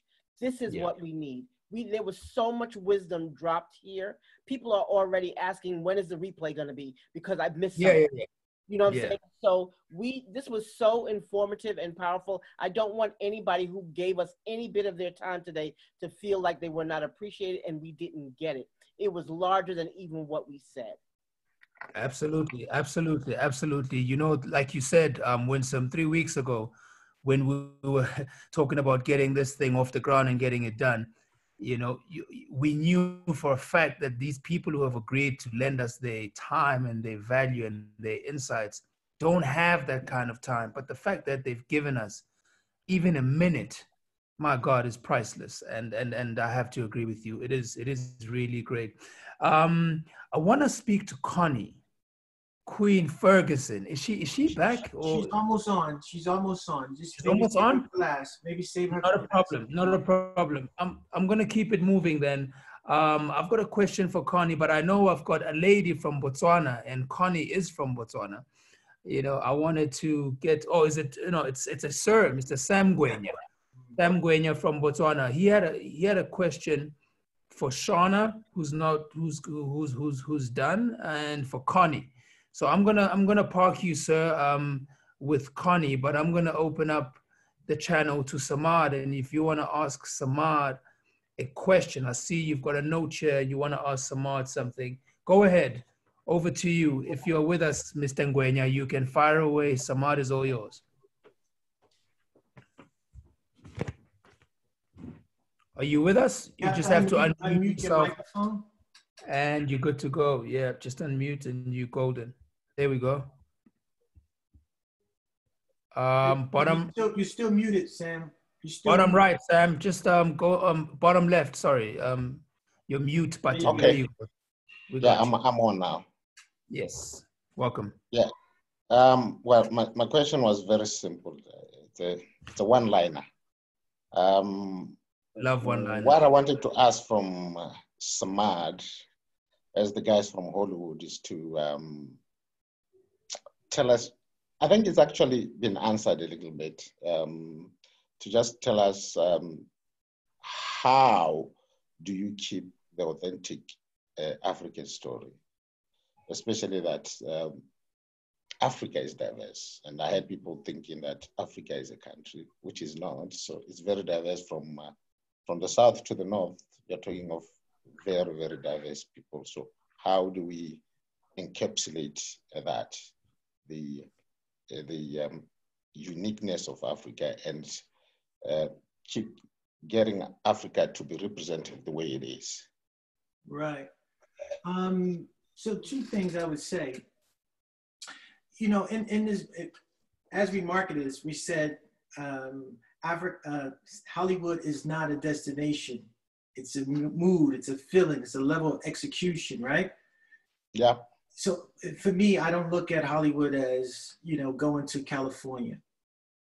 Um, it's really wherever you are able to produce and create and execute, right? And then from a, from a story to, I think tribalism, tribalism, just, let me just say this. We're all talking about how do we do this and how do we do that. You know, the one thing that gets in our way collectively as a people is tribalism. And what I mean by mm-hmm. tribalism, not just a country or a place in Africa or, or just, uh, different tribes in Africa. I'm saying tribalism, period. African Americans, we have this whole tribalism thing. And then if we if you want to go deeper into that, we start breaking down into cliques. I'm from New York. I'm from LA. I'm from Miami. And we it's always tribalism. You go to Africa, you know, Nigeria is Nigeria. Then they have the tribalism things happening within that. You go to South Africa, tribalism, right? Everybody is creating for everybody's in their own corner. So the minute I think how do you overcome that? I mentioned breaking bread earlier, and then I'm going to mention the right partnerships, the right strategic partnerships. I can't oh, yeah. produce something in Botswana unless I'm speaking with, I have a, a partner who knows their thing in Botswana. And we can marry what you know in Botswana with what I know from a global stage. And how do we make that story uh, commercially viable? Yeah. That's what we have to look at because I'm in a room with the Mondes of the world and I know how they think. And, and they're going to look at, Monde said it earlier. He said he's a, you know, he has to look at the business first, right, Monde? You have to look at the mm-hmm. business to see how does it make business sense. So I'm not going to lead you astray and say, okay, I love this story you came up with. It's about uh, something that happened in a village in Botswana, and you had to live it. You had to grow up in Botswana to appreciate the story. Then I'm going to tell you how do I monetize that? Versus let's sit down and figure out how do we still respect that story that you're telling. I think Michael Lucker said it best. You know, a good story translates anywhere. And I do know people will watch anything if your story is developed properly, your characters is developed properly. You know, it, it has, you know, I, the movie doesn't start off the way it, it doesn't end the way it started so there's something people will watch any kind of content if it's meaningful. And when I say meaningful, I don't care if it's about a drug lord or whatever the case may be. People want to latch on to characters. They want to root for somebody. They want to hate hate someone. They want to uh, empathize or sympathize. So as long as you know as a storyteller that you're you're going to tick all these different boxes creatively, then you're going to make sure you tick the boxes from a business standpoint that you paid attention to how we're going to market this. Who can we get to get into I was on this panel and Michael Jai White said he's accessible. You, as a creator, keep that in mind. Yeah. Uh, Michael Jai White said he's accessible. He's in, he's interested in, in, in doing some compelling stuff. Malik Yoba said the same thing. Anika said the same thing. So if you can look at how do you marry talent from whether it's Botswana, South Africa, anywhere in Africa, and, and, and mix and match, mix with somebody from the UK or the US to try to tick the box so that your product, your end product is commercially viable. That is what we have to think about. Let's get rid of the tribalism one. Let's create stories and find the right strategic partners that can keep things authentic, but still allow uh, the end product to be commercially viable. Thank right? you. Yeah. That's what I would sense. say. That, that, and let's tick those boxes and let's tap into the relationships that we've uh, cultivated to get it done. Yeah. That's the recipe. I love that. I'm love that. I love that. Thank you so much, Mr. Ngwenya. Appreciate that, Thank you sir. very Thank much, you. Mr. Thank you. Thank you, thank you, my sir. Um, I'm gonna, you know, I want to ask Connie a question or two if she is back. If you there, Connie, just give us a hello. If you're not back, I'm gonna move on to my BET winners. But um, yeah, I think as we get closer to, you know, the end of the third session, she's she's joining now. Is she jo- joining now? That's great. I just, you know, I just realized that there is so much that there is to know. And what's happening here on this webinar is a lot of seeds are being planted, a lot of questions are being answered, and a lot of direction is being given. It's on us to then pick that up and go define what that means for our individual journeys. And I think for any um, artist or, or, or filmmaker or storyteller that's watching this webinar, um, it's important to understand that ultimately you will always get drops of knowledge from different places. You go online to google you go on youtube you you watch different clips from different people. It's what you do with what you get that determines what the next step is or what the journey is for you as a filmmaker. And i'm learning that from my own experiences and and and sometimes you really just gotta feed the monster empower your own art so that you can do things the way you do things and offer what you what your unique offering is um, at, at, at all times i've got a question from Kahiso Muleme. I see Kahiso, you're still with us. I'm going to try give you your one question, my brother, because you've been here for a long time and you want to speak to Connie. So, you know, she's she's coming on. And Murungwa Ntoke will be our last BET winner, um, competition winner that will speak to Connie Ferguson. And I think for me at this point, um, with the last three um, questions, you know, I'd like for us to maybe encapsulate all of all, um, the entire discussion today. So within your answers, my panelists, just give us a wrap up of, you know, your sentiment, um, given what we've done here today. What is the ultimate takeout um, from each of each of my final panelists? Maybe we can start there until Connie comes on. So from, let's start with let's start with, say, for example, who can we start with? It's Michael Jai White. Your closing sentiment, my sir, and your what you're leaving us with and what you taking out from this entire experience. It would just be a reiteration um, and an encouragement. It's ba- basically what I think we've all said. Uh, what what Samad just said to me is what I said, which was, you know, you're creating a win-win situation. Uh, how do you win with my involvement? How do I win with your involvement? Sometimes, as as as artists, we are so focused on what we want, and we're not thinking about what the other side gains in that transaction. Uh, and you know, uh, so that's what it is. You got to just say, okay, the, and you can explain if you know how that person wins. Well, you can encourage them. You can persuade them to do business with you much easier. You know, um, so I would, I would, you know, like I say, I would encourage uh, more of that. Um, uh, the fact that I believe this is the the beginning. This could very well be the beginning um, to those questions. To the question that Jan um, asked, and uh, then maybe this leads to Yeah. an, an organization. Uh, I know, you know, I'm here by way of Samad, and I want to thank Samad tremendously. Samad's Yeah. a friend of mine, and you know, I'll do whatever he says. Thank know, you, He- thank you. I appreciate you. got me beside him. I don't even have to think anymore. So that's what that's how the, that relationship works.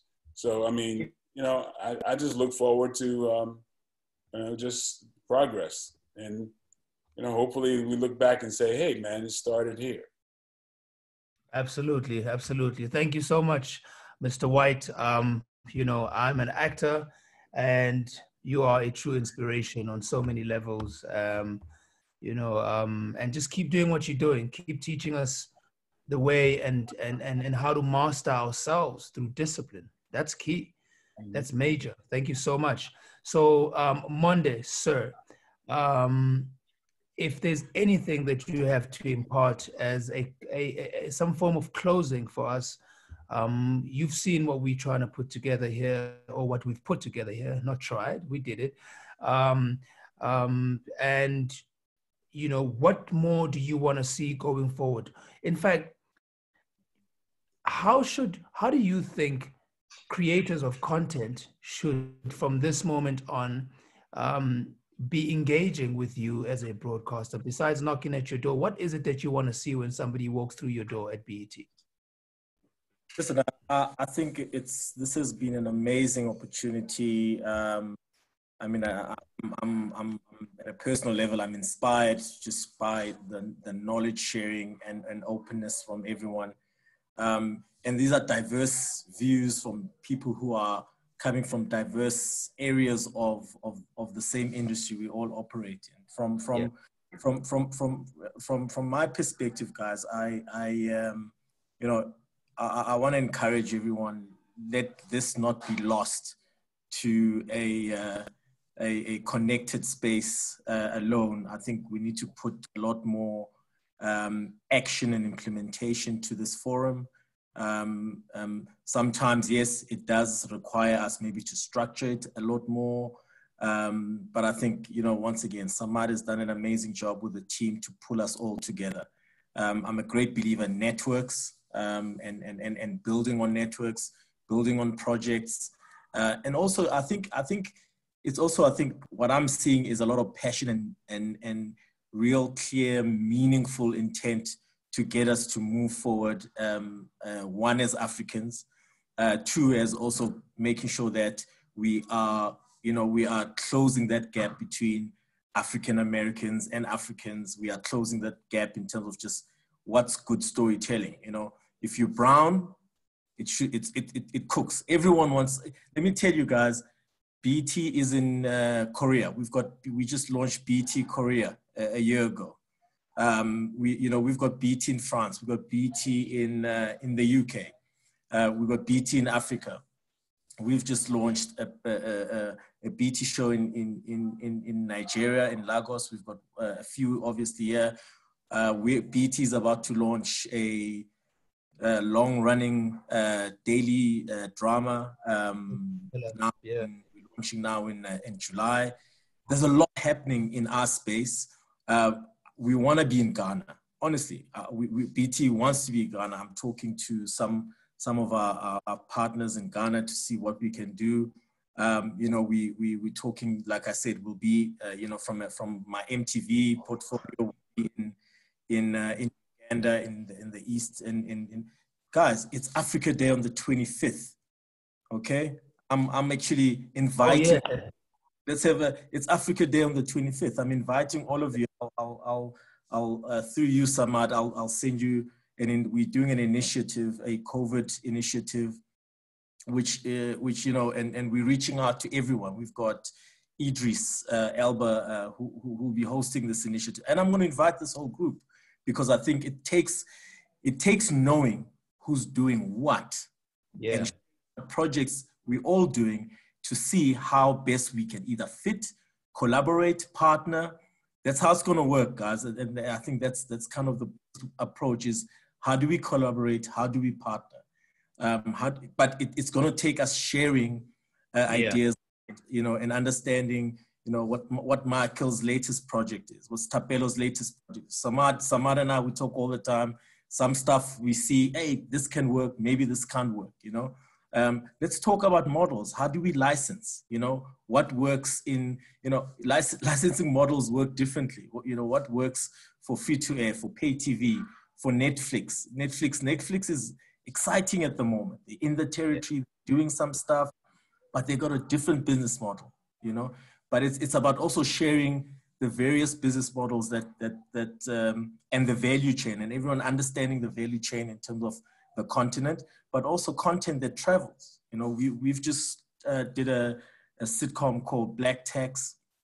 Yeah. Um, and, and, and, and that sitcom is shot in English. We're now about to do a French version of it, you know, because we've got, we've got French interest now from other territories. Canal Plus wants to, wants to license it, etc. So it's understanding value chain, but it's going to take us slightly stepping up from this level in terms of just how do we then formally connect mm. in a way we either share ideas um, in terms of, uh, you know, if you go to like publications like Screen Africa or all these industry, it's yeah. difficult to, to, to, to, you know, because all, all those things are happening post. We yeah. need the ideation space in the modeling space. That's what we, that's where we need to connect. Um, you know, BET Africa is open for business. Uh, uh, uh, uh, you know, through Samad, let's let's let's find a way of sharing contact details, uh, exchanging exchanging information, creating yeah. a, a bit more structure to just take us to the next level where this becomes a lot more fluid. Just in my black book, I can pull up another 40, 40, 40 30, 40 other people that can mm-hmm. add this process um, and, yeah. And elevate really the narrative about how do we, and from an African American perspective, you know, just talking to my BET colleagues, there's such a huge um, um, hunger for, for, for, for the continent, stories coming from the continent. Wow. African Americans wanting to connect with the continent. And vice versa, we also want to connect. It's, it's funny, we all, yeah. but we're not engaging. Uh, yeah. I, just want to thank, um, you know, it's, it's quite a humbling uh, uh, opportunity to be part of this. Let, let it not die off, let it not go to waste. Um, the commitment, uh, I think, you know, like Michael just put it out there to say he's available. Honestly, yeah. I think myself, I'm available. I always put up my hand and say, hey guys, let's connect. Let's make this a much more meaningful, deeper exercise because you know ultimately that's the bridge you know we we doing what we're doing from a from a network and via perspective in africa to connect um, let's create formats you know we you know one of the vision we have is to create african formats that can travel um, uh, globally. So so yeah. once again, let's let's let's do it. Let's not talk, you know, because I, I, know we also great speakers and talk well. You're, award-winning speakers, don't you know? Let's put let's put action to this great great uh, great yeah. starting point. Exactly. Absolutely, absolutely, Monde. Thank you so much. So that is 100% on the nail um, let's do that. And maybe let's begin by dropping all of our social media handles, the easy stuff, right? You know, just your, your digital platforms, post on the chat, just go on that chat icon and just put up your, your social handles so we at least know how to follow your journey um, and stay inspired and maybe, you know, start sharing messages at some point. But yes, how do we then move on from planting seeds? We got to water the garden. That's what yes, needs to happen. Yes, yes. Uh, Connie's on. That's, yep. Connie's on. Yep, that's what Yeah, yeah. Um, um, Samad, you got something? Yeah. Connie's back? Connie's gone. Connie's here. Okay, cool. So I definitely want to have one or two words with Connie. Um, I would like to speak to Joselyn, um, our Lady Dumas, um, um, give us a bit of a closing before we wrap up, as well as Winsome is also going to give us a closing sentiment as well as a quick closing sentiment from Samad. Connie, welcome. Hello, hey everyone. Hey. Hello.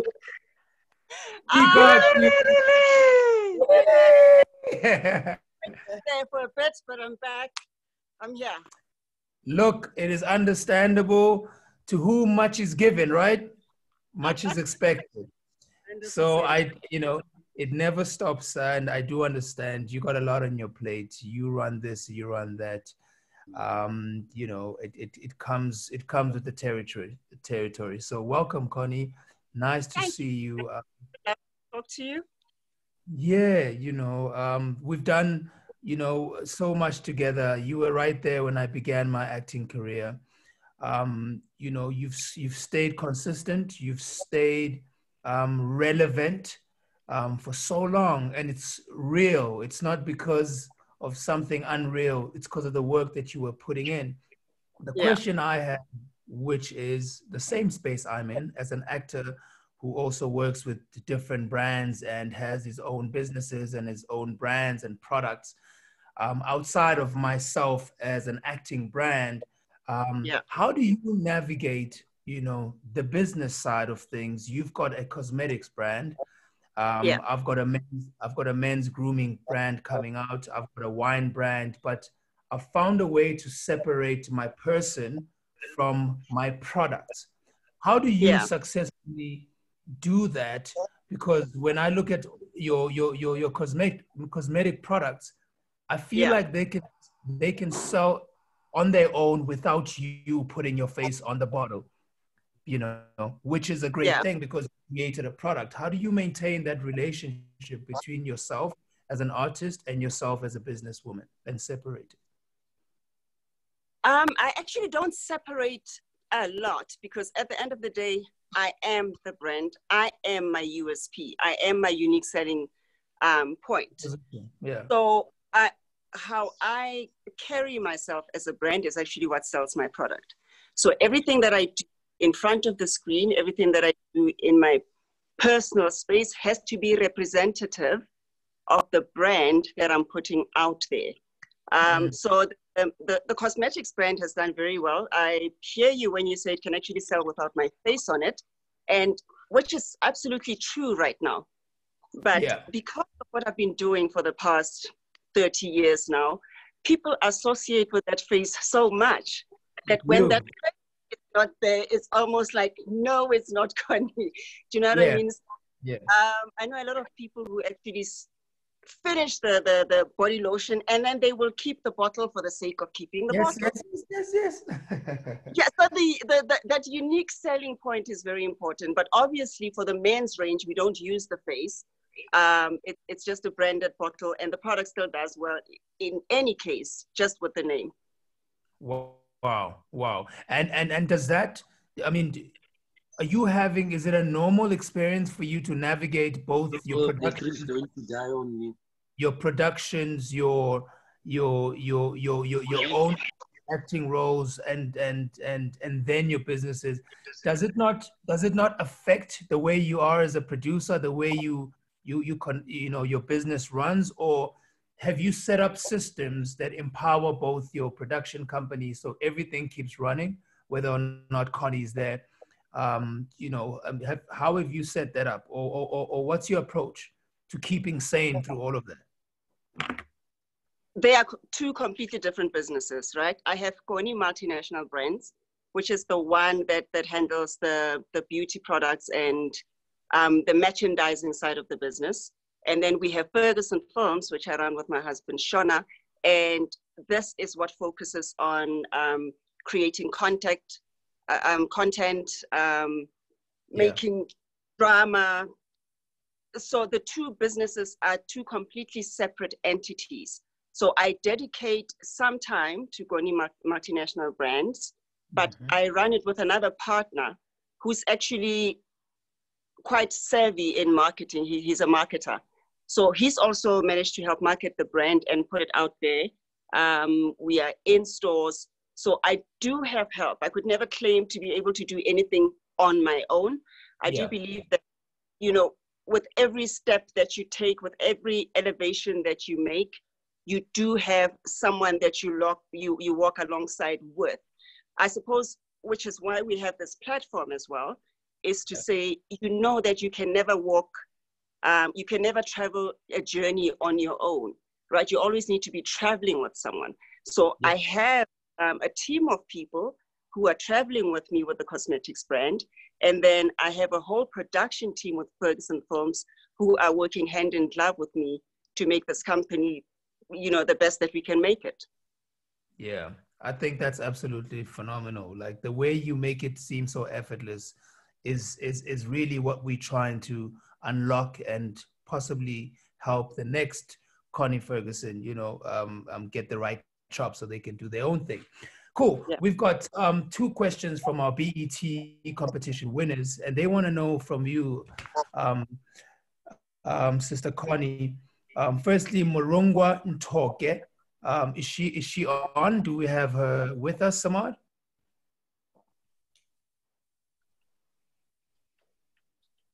Is she with us? If you're there, Morongwa, just give us a hello so you can ask Connie. I see two questions from you. If she's not, we can move on. We've got Kagisho Moleme. Is Kagisho here? Yeah, Thapelo, Thapelo. Okay. How you doing, brother? How you I'm, doing? So I'm what? good, and you and you and you, Tebza. I'm I'm good, man. I love you know you've just brought me back to South Africa. You know, like that was definitely that was definitely like a, a, a guy next door greeting. Okay, Smiley, Connie is all yours. She is all ears. Shoot. Hello, Kagisho. Uh, how, how are you, Mekoni? I'm, I'm good. How are you? I'm awesome. Can I put say one for wena, Mamzo? Yes. Yeah, how do you choose your actors or your actress for your productions? Do they have to do they have to be people that went to drama school or do you al- or do you also take people with natural talent with formal education? Yeah. Yes, Thank that's you. my question. Um, okay, I'll start by how we actually select our actors that we use on any of our shows. We send out a brief to different agents, right? And then the agents would, will select from their um, actors who they feel will be most suited to the roles that we are auditioning for. And then they'll send those actors to us, who we then audition and shortlist. Once we've shortlisted the ones that we feel um, could be suitable for the role, we then call them back. And then we put them on the actual set with our existing actors to perform an actual recorded scene, like they, they, they're recording for, for broadcast, right? And then based on that, we see how they fit in, in, in, the, in the environment, um, if they have chemistry with the actors that they're working with, and that helps our selection process. Yeah. So you haven't made history like to pick one of your followers on Twitter or eh, come and act a- at the Queen. I mean, I'm here. I see where this is going. No, uh, Thapelo, Thapelo, yeah, Thapelo. yes. Actually, Mama Connie can tell the truth. Now I'm always tweeting her that I want to act on the Queen, man. She knows. Get an audition right there, um, that, there's absolutely nothing wrong with reaching out, but obviously we do prefer to work through agents um, Yeah. because it is a system to be followed, and we, we love to follow that system. But if you believe that you are talented and you'd like to prove yourself and you'd like to prove yourself to us, and maybe you have an tape or a self tape that you've made, you're absolutely welcome to send us. Um, we're willing to have a look at it. We can audition you. And if we feel that there's great potential there that we can work with, then you, we can put you with um, our existing actors and to see how you work on an actual set in front of multiple cameras with the lights and everything. Do you not get flustered? And then we take it from there. But you know, um, your other question was, do we only audition people who went to school or do we also look at natural talent? Yes. I, I, I always obviously encourage going to school. But there are those people that are just naturally talented where it's so in like they were born with it. Those people are trainable. Like you can recognize talent in someone. You look at someone, um, even even if they do like a, a, a self-recording, and you go, oh, this person has that thing, right? Or they have that it thing. You know when someone has something that you can work with. And we Yeah. love them because what we usually bring out of them is like they, they become like the next big thing so yeah no we don't just um, consider people who have gone to school or who have degrees obviously that's great and that does work for them but we also look at natural talent Um, Okay. may I- Good. Ke a May leboga. I just add something, please, uh, Mr. Thapelo? Ta- taps. Yes, sir. Um, uh, I'd like to pose the same question around uh, around the same thing from uh, to to to Connie. Uh, I've been able to follow you uh, in so many things. I participated in BET Top Actor Africa earlier on, and um, I've been trying to like just open up to the world because I don't want to limit myself to. I, I've been wanting to work with South Africans. I've been wanting to work with Nigerians. but I, I um, it seems I don't have my way around all that. Um, what would you advise me? Um, I, I think you need to increase your network of people. Okay, who do you hang around? Who does Yeah. the person around know that could help open doors for you? Um, Yeah. You need to find ways to put yourself out there. Social media is a right now, but um, because everybody is doing it, you kind of Mhm. need to identify what makes you special. And when you put something out there, make sure that the people that you want to see that thing see it. Or Yeah. if you don't have it, if you don't have the means to do that, then make sure you know someone who's able to make sure that someone sees that. Yeah. Um, but but it's um, it's a very competitive industry. I'm going. I'm not going to lie to you. Yeah, so when when you come into it, you need to come come into it with a mindset that this is what I want. I do appreciate that it may be difficult and some doors may be hard to open. Never give up. If you believe you have what it takes um, and you can bring something great to the table, never give up. That one door will open. And once that one door opens, seize that opportunity with both hands and run with it. Don't Thank take you. it for granted. Know that this is my opportunity, is now or never or die. Because that will determine your next. And you know, um, that is that is absolutely 100% correct. And to add to what Sister Connie is saying, um, Alex, Yeah. it's you know, you asked the question, what can you do with what you have? And what you have is more than enough, especially in the digital era. I've here's what I've done to try and help and assist and empower someone like yourself in my 37 years of age. Um, I've Mhm. decided, you know, 19 years in this industry, I've learned a lot. I've been blessed enough to have a fruitful career that has exposed me internationally. And I thought, let me create a platform that can help you with the basics and the information that you need to be empowered. So if you go on YouTube, one of the mm-hmm. collaborators and partners to this event, to this webinar, is The Artist Corner TV. The Artist Corner TV, where I'm taking actors and actresses through my journey and my experiences in the industry from the beginning of the industry to the very top of the industry. So, where does it begin? It begins with you booking your gig, right? It begins with you entering the industry. So, if you go on Artist Corner TV now, the 1st Mhm. episode is an introduction episode, but the next one that's coming next week is an episode about booking your first gig. I'm literally talking about the audition process. I'm literally talking about the psychology of the artist who leaves their bedroom, whether you're at your mother's house, your own apartment, but what you are taking to that transaction called the audition, which I find to be one of the most beautiful spaces to be in because an audition process is there to marry an artist and a concept through a team. And if there's a fit, then there's a fit. So for now, I'll tell you straight check your digital personality and your digital presence and your digital person.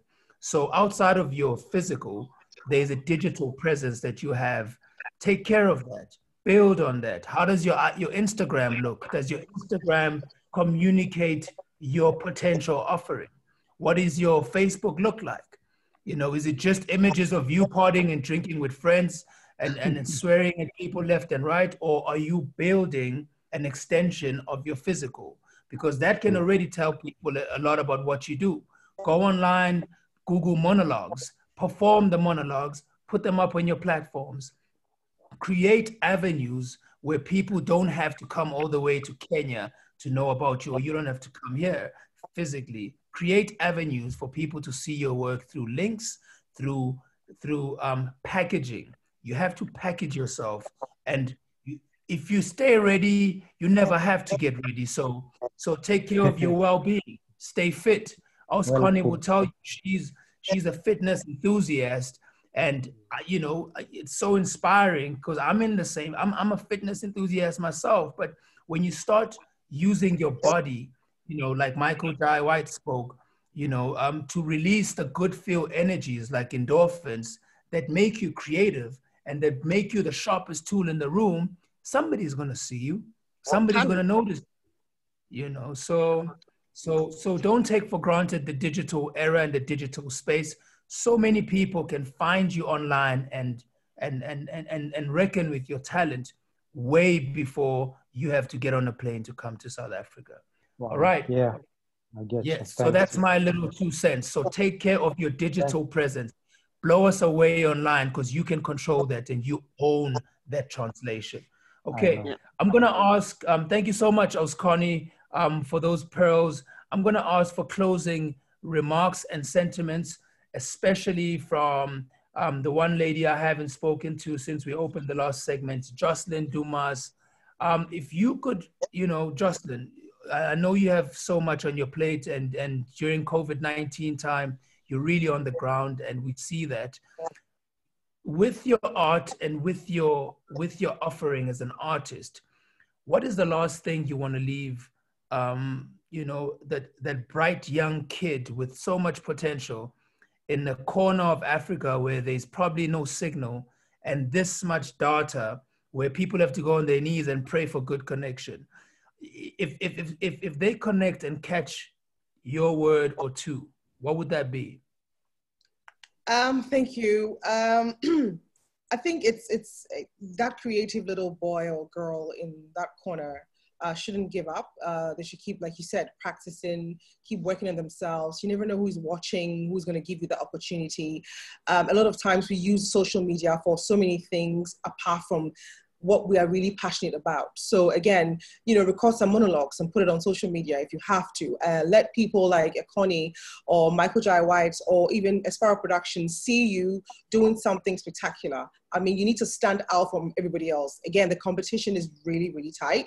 So what makes you different and what makes you stand out from everybody else is your ability to, to you know, to own what talent you have. And you might not even go to school for it but just keep practicing uh, keep on believing and you never know. Again it's one global village. You never know who's watching. You never know who is going to you know send you a dm and say you know what? I want to do something with you. Come and audition.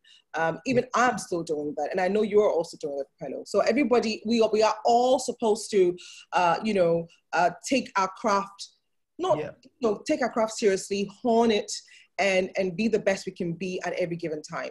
Um, time is of the essence. So again it, it's all about you know just keep working at it keep believing and just one day one day keep pushing. And before i even even go away i just want to say that there's been so many times there's been so many talks about everything we've talked about but nothing has happened. There's so many great ideas but we walk away and we go back to our usual uh, daily routines. So I pray that everything that Michael said, everything that everybody on here has said, uh, is going to be sort of put into into action. You know, uh, we are all tired of the talk. When it comes to talk, we can all talk a very good talk, but let's Yeah. implement. Let's you know stay together. We can we can go far together. Let's let's connect. When I when I reach out to any of you on there, please you better respond because if you don't, I'll call you out. Uh, but um, let's engage and again we are stronger together let's do this you know I, I hope this is the first of many to come and it will not just be talk but it will be a lot of things uh, happening progressively uh, thank you for the opportunity guys I'm, I'm really grateful thank you Absolutely. Thank you so much. We appreciate you so much. Thank you, thank you, Joselyn. Thank You are you. amazing. Thank you so much. Um, um, before I hand over to Samad and Winsome to just really wrap this up for us and, and maybe a quick word from Connie, and I see Atandwa still here, I'm going to ask you to say a quick word and just wrap up, and then um, quickly Samad and Winsome. Um, you know, um, you know, I think we could go on forever and ever and ever. Um, I, I think we've we've we've we've got takeoff and we've we've really put something on the ground that has potential to become bigger than us um, for more than just our generations. Um, you know, so thank you to everybody. Thank you to my BET winners. Thank you to BET, our our our, our, voice and our media partner, Magical. Much love and respect to the tech team that's worked on this. You know, um, you know, I don't want to name all of you. I won't, you know, we'll, we'll take a lot of time, but thank you, thank you, thank you so much for all the hard work you put in. Sister Connie, last word from you. I know you're busy and I know you probably have set first thing in the morning, so let me not keep you. I do. Um, I think first first, I'd like to say, sure, to everybody that was on this platform today, thank you so much for your time. Um, I feel like this is long overdue. Samad, I don't know how you pulled this off. My brother, you're a genius. Thank you so much for bringing all together. Um, conversations need to be had. I believe this is just the start. And for anybody who gets the opportunity to watch this, please get the next person to watch it and the next person to watch it. Because I believe there's so much that can and will be learned about what we do, not just here in South Africa, but in the rest yeah. of the continent and in, uh, in, in the US. You know, we always say that we are a one people, but don't always behave like we are one people. So mm-hmm. hopefully, this is the start of us showing that. And as Joselyn says, um, not just talking the talk, but walking the walk as well. So I'm looking forward to things to come. Forward to things to come. Absolutely, my lady. Thank you so much, Queen Connie. Appreciate you so, so much, my lady. Thank you. Yes. Thank you, thank you, thank you, thank you. Mr. Atandwa Kani, the Prince of Theater. I need a word from you before we go, before we we we we, we wrap it up. Unmute. Unmute, unmute, champ. Mute and mute and mute and mute. Um, yes. Again, thank you so much for everybody on this panel. Thank you for the opportunity to be in a virtual room of this magnitude. I, my last closing sentiments, I hope that we could all, may our dreams not be bigger than ourselves. Um, may we create houses that can hold however big our dreams are. Um, may our, may our Hollywood be a child that is raised by our African village. Wow. Amandla, Amandla to that, bro. Amandla to that. Amandla to that. Uh, I'm something? so happy. I'm so happy that people are gonna get a chance to see this because man, um, Ronnie, sir, I've been yes, I've been seeing yes. you there, but I didn't I don't have it in my notes to call you Don't in. Worry. It's okay. I just wanted to add I just wanted yeah. to add uh, as the words of Denzel Washington, each one teach one. Lift someone else up. We can Amen. do this. We've got this we've got this, we've got this. Because it's like on my on my show, what I'm gonna be doing, I will be exposing you. It's Beautiful. now time. You're no longer here. You're here. Let's do this. Connection. Yeah, we've got takeoff. Thank hey, you, tap. thank you, thank you so much. Tap, this is Donald. Donald, yes, sir. Yeah, I, I just wanted to say one thing. I'm one of the producers of the show. My business partner. She might not make it back in time to speak. So I just want to, like I said, thank everybody for coming on board.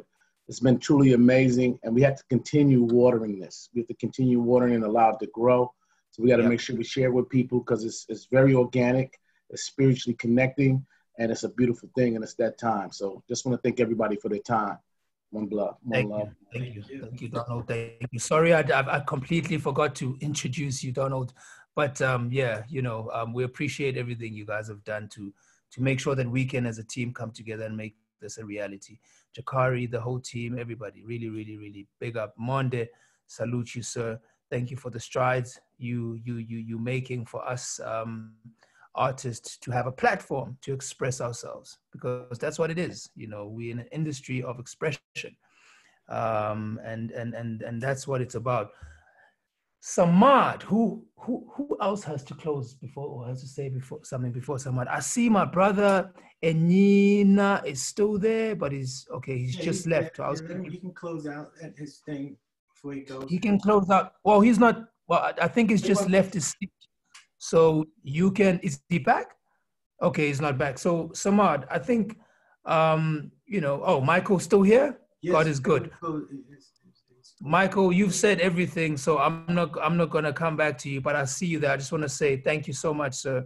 We've gotten to know you through the power of connection and communication and and and and execution. So, you know, big up for coming onto this platform. Your work is light for us, so keep shining. Yes, uh, we appreciate you, Mike, so much. Thank you so much. Hey, you Thank know, you, you know, we'll, be talking soon. So you know, yeah, yes. If everyone had friends like you, man, we would be would be in a much better place. Yeah, man. And you, and Nina, my brother, you back. You back. I need a word from Nigeria before I send it over to America. What you got? You on mute. You on mute. you on mute, my brother. Mute. You're on mute. Yeah, you, you're on mute. Yeah, yeah, we got you. Last yeah. words, my champ. Do you have? Do you have? Do you have last words for us, bro? Yes, yes, yes. Uh, I agree with everything everyone said. I'm really uh, grateful to be here today. Uh, I feel really blessed. Like I said, uh, there's a reason why we're all here together today. Oh, Nigeria has happened. Okay. Um, yeah. So um, yeah. So I think uh, like uh, some of the speakers said, it's about execution. It's execution time, and I think everything starts from one very pivotal place, which is the story. So if we can pull up the influences that we need to tell the right stories and control the narrative, we can plug in every detail and every character from everywhere in the world in a way that makes sense commercially and in every other way that we want to communicate uh, at our artistry. So I think uh, this, it starts from the story. So we can focus on that. We'll get it right. God bless you, man. Thank you so much, brother. Thank you so much. Hopefully, we get to meet you soon. Samad. Yes, Chat. yes. I just Chat. want to say this has been amazing. I know we originally thought, hey, we're going to do this in two hours. It's just too many beautiful minds and spirits sharing. And the time took the time that it took. But I appreciate each and every one of you. I know Winsome does as well. So I want to also thank you guys on her behalf once again. Um, Monde, thank you for just jumping on board. We really appreciate you and all the hard work the BET team, BET Africa team has done. Mick Tabo, Terry, yourself, the whole team. We really appreciate it. And I think you, you know, you you are definitely a visionary. I've I've sat down with you many times. So I just appreciate that. You're the first person that came to my mind. Um, Mike, you already know. Thank you so much, brother. Friends like you, hey, we all win, continue to win. So, Atandwa, thank you, brother. Thank you, Atandwa. We appreciate you so much, man. You know, I had the pleasure of working with you, directing this guy on Love by Chance. He's a character, man. thank you so much.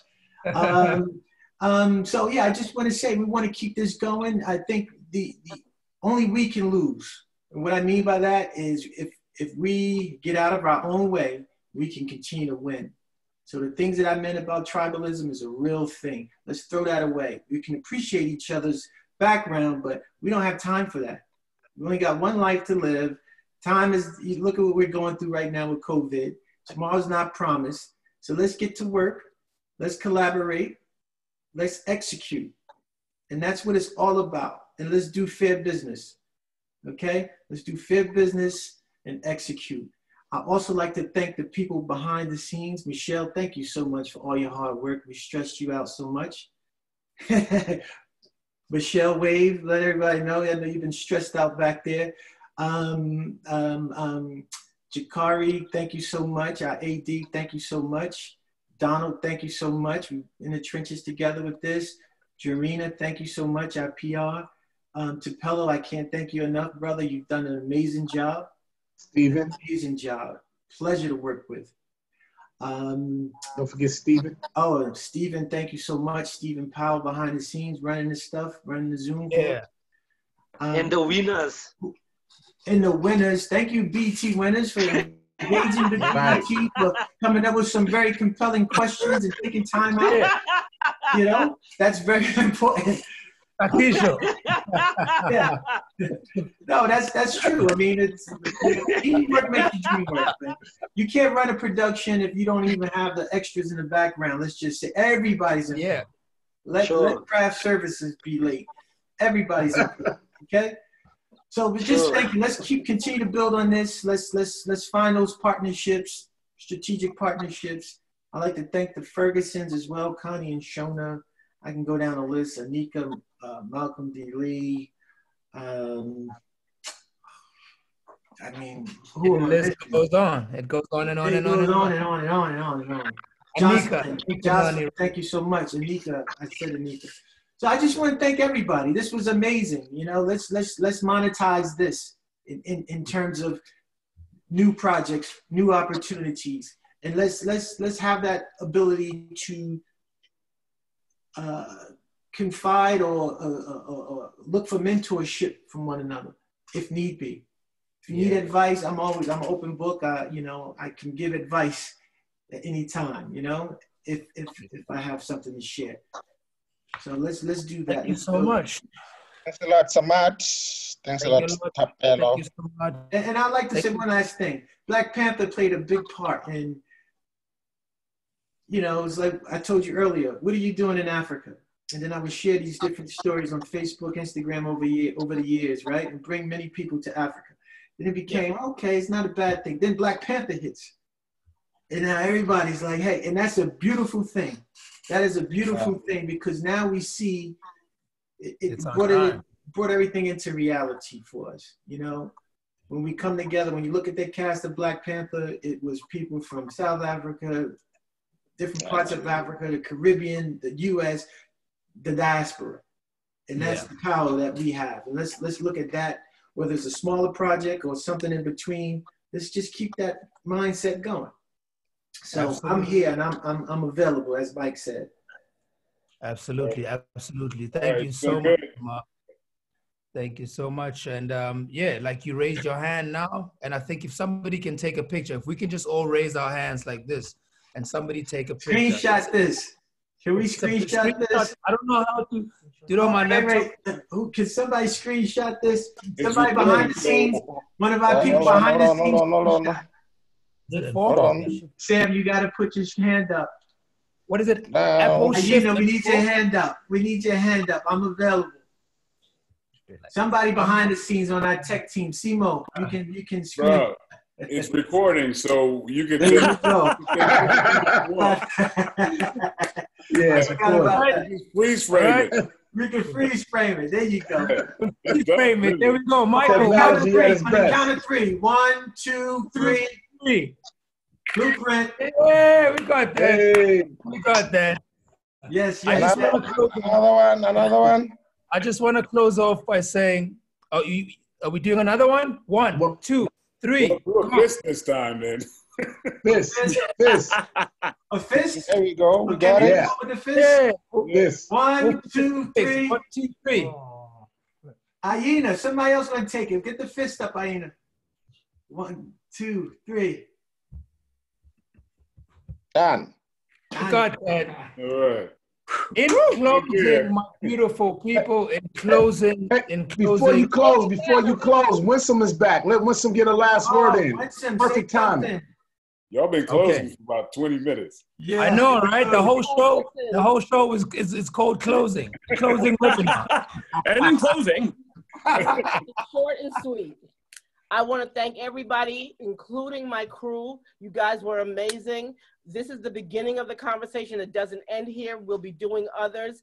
Had to run off. Mommy duties call, but I'm back. I really wanted to say goodbye in person. So thank you guys for being patient and staying here. And I'm going to say this because I mean, I will see you soon. I will see you soon. Thank you, Samad, for everything. Thank everything. you, Winsome, Donald. Thank you, everybody. See you soon. And just and and and I want to leave you with this, everybody. I want to leave you with this. We all another closing. We all have the power of potential in us. You know, Jakari, stay with me.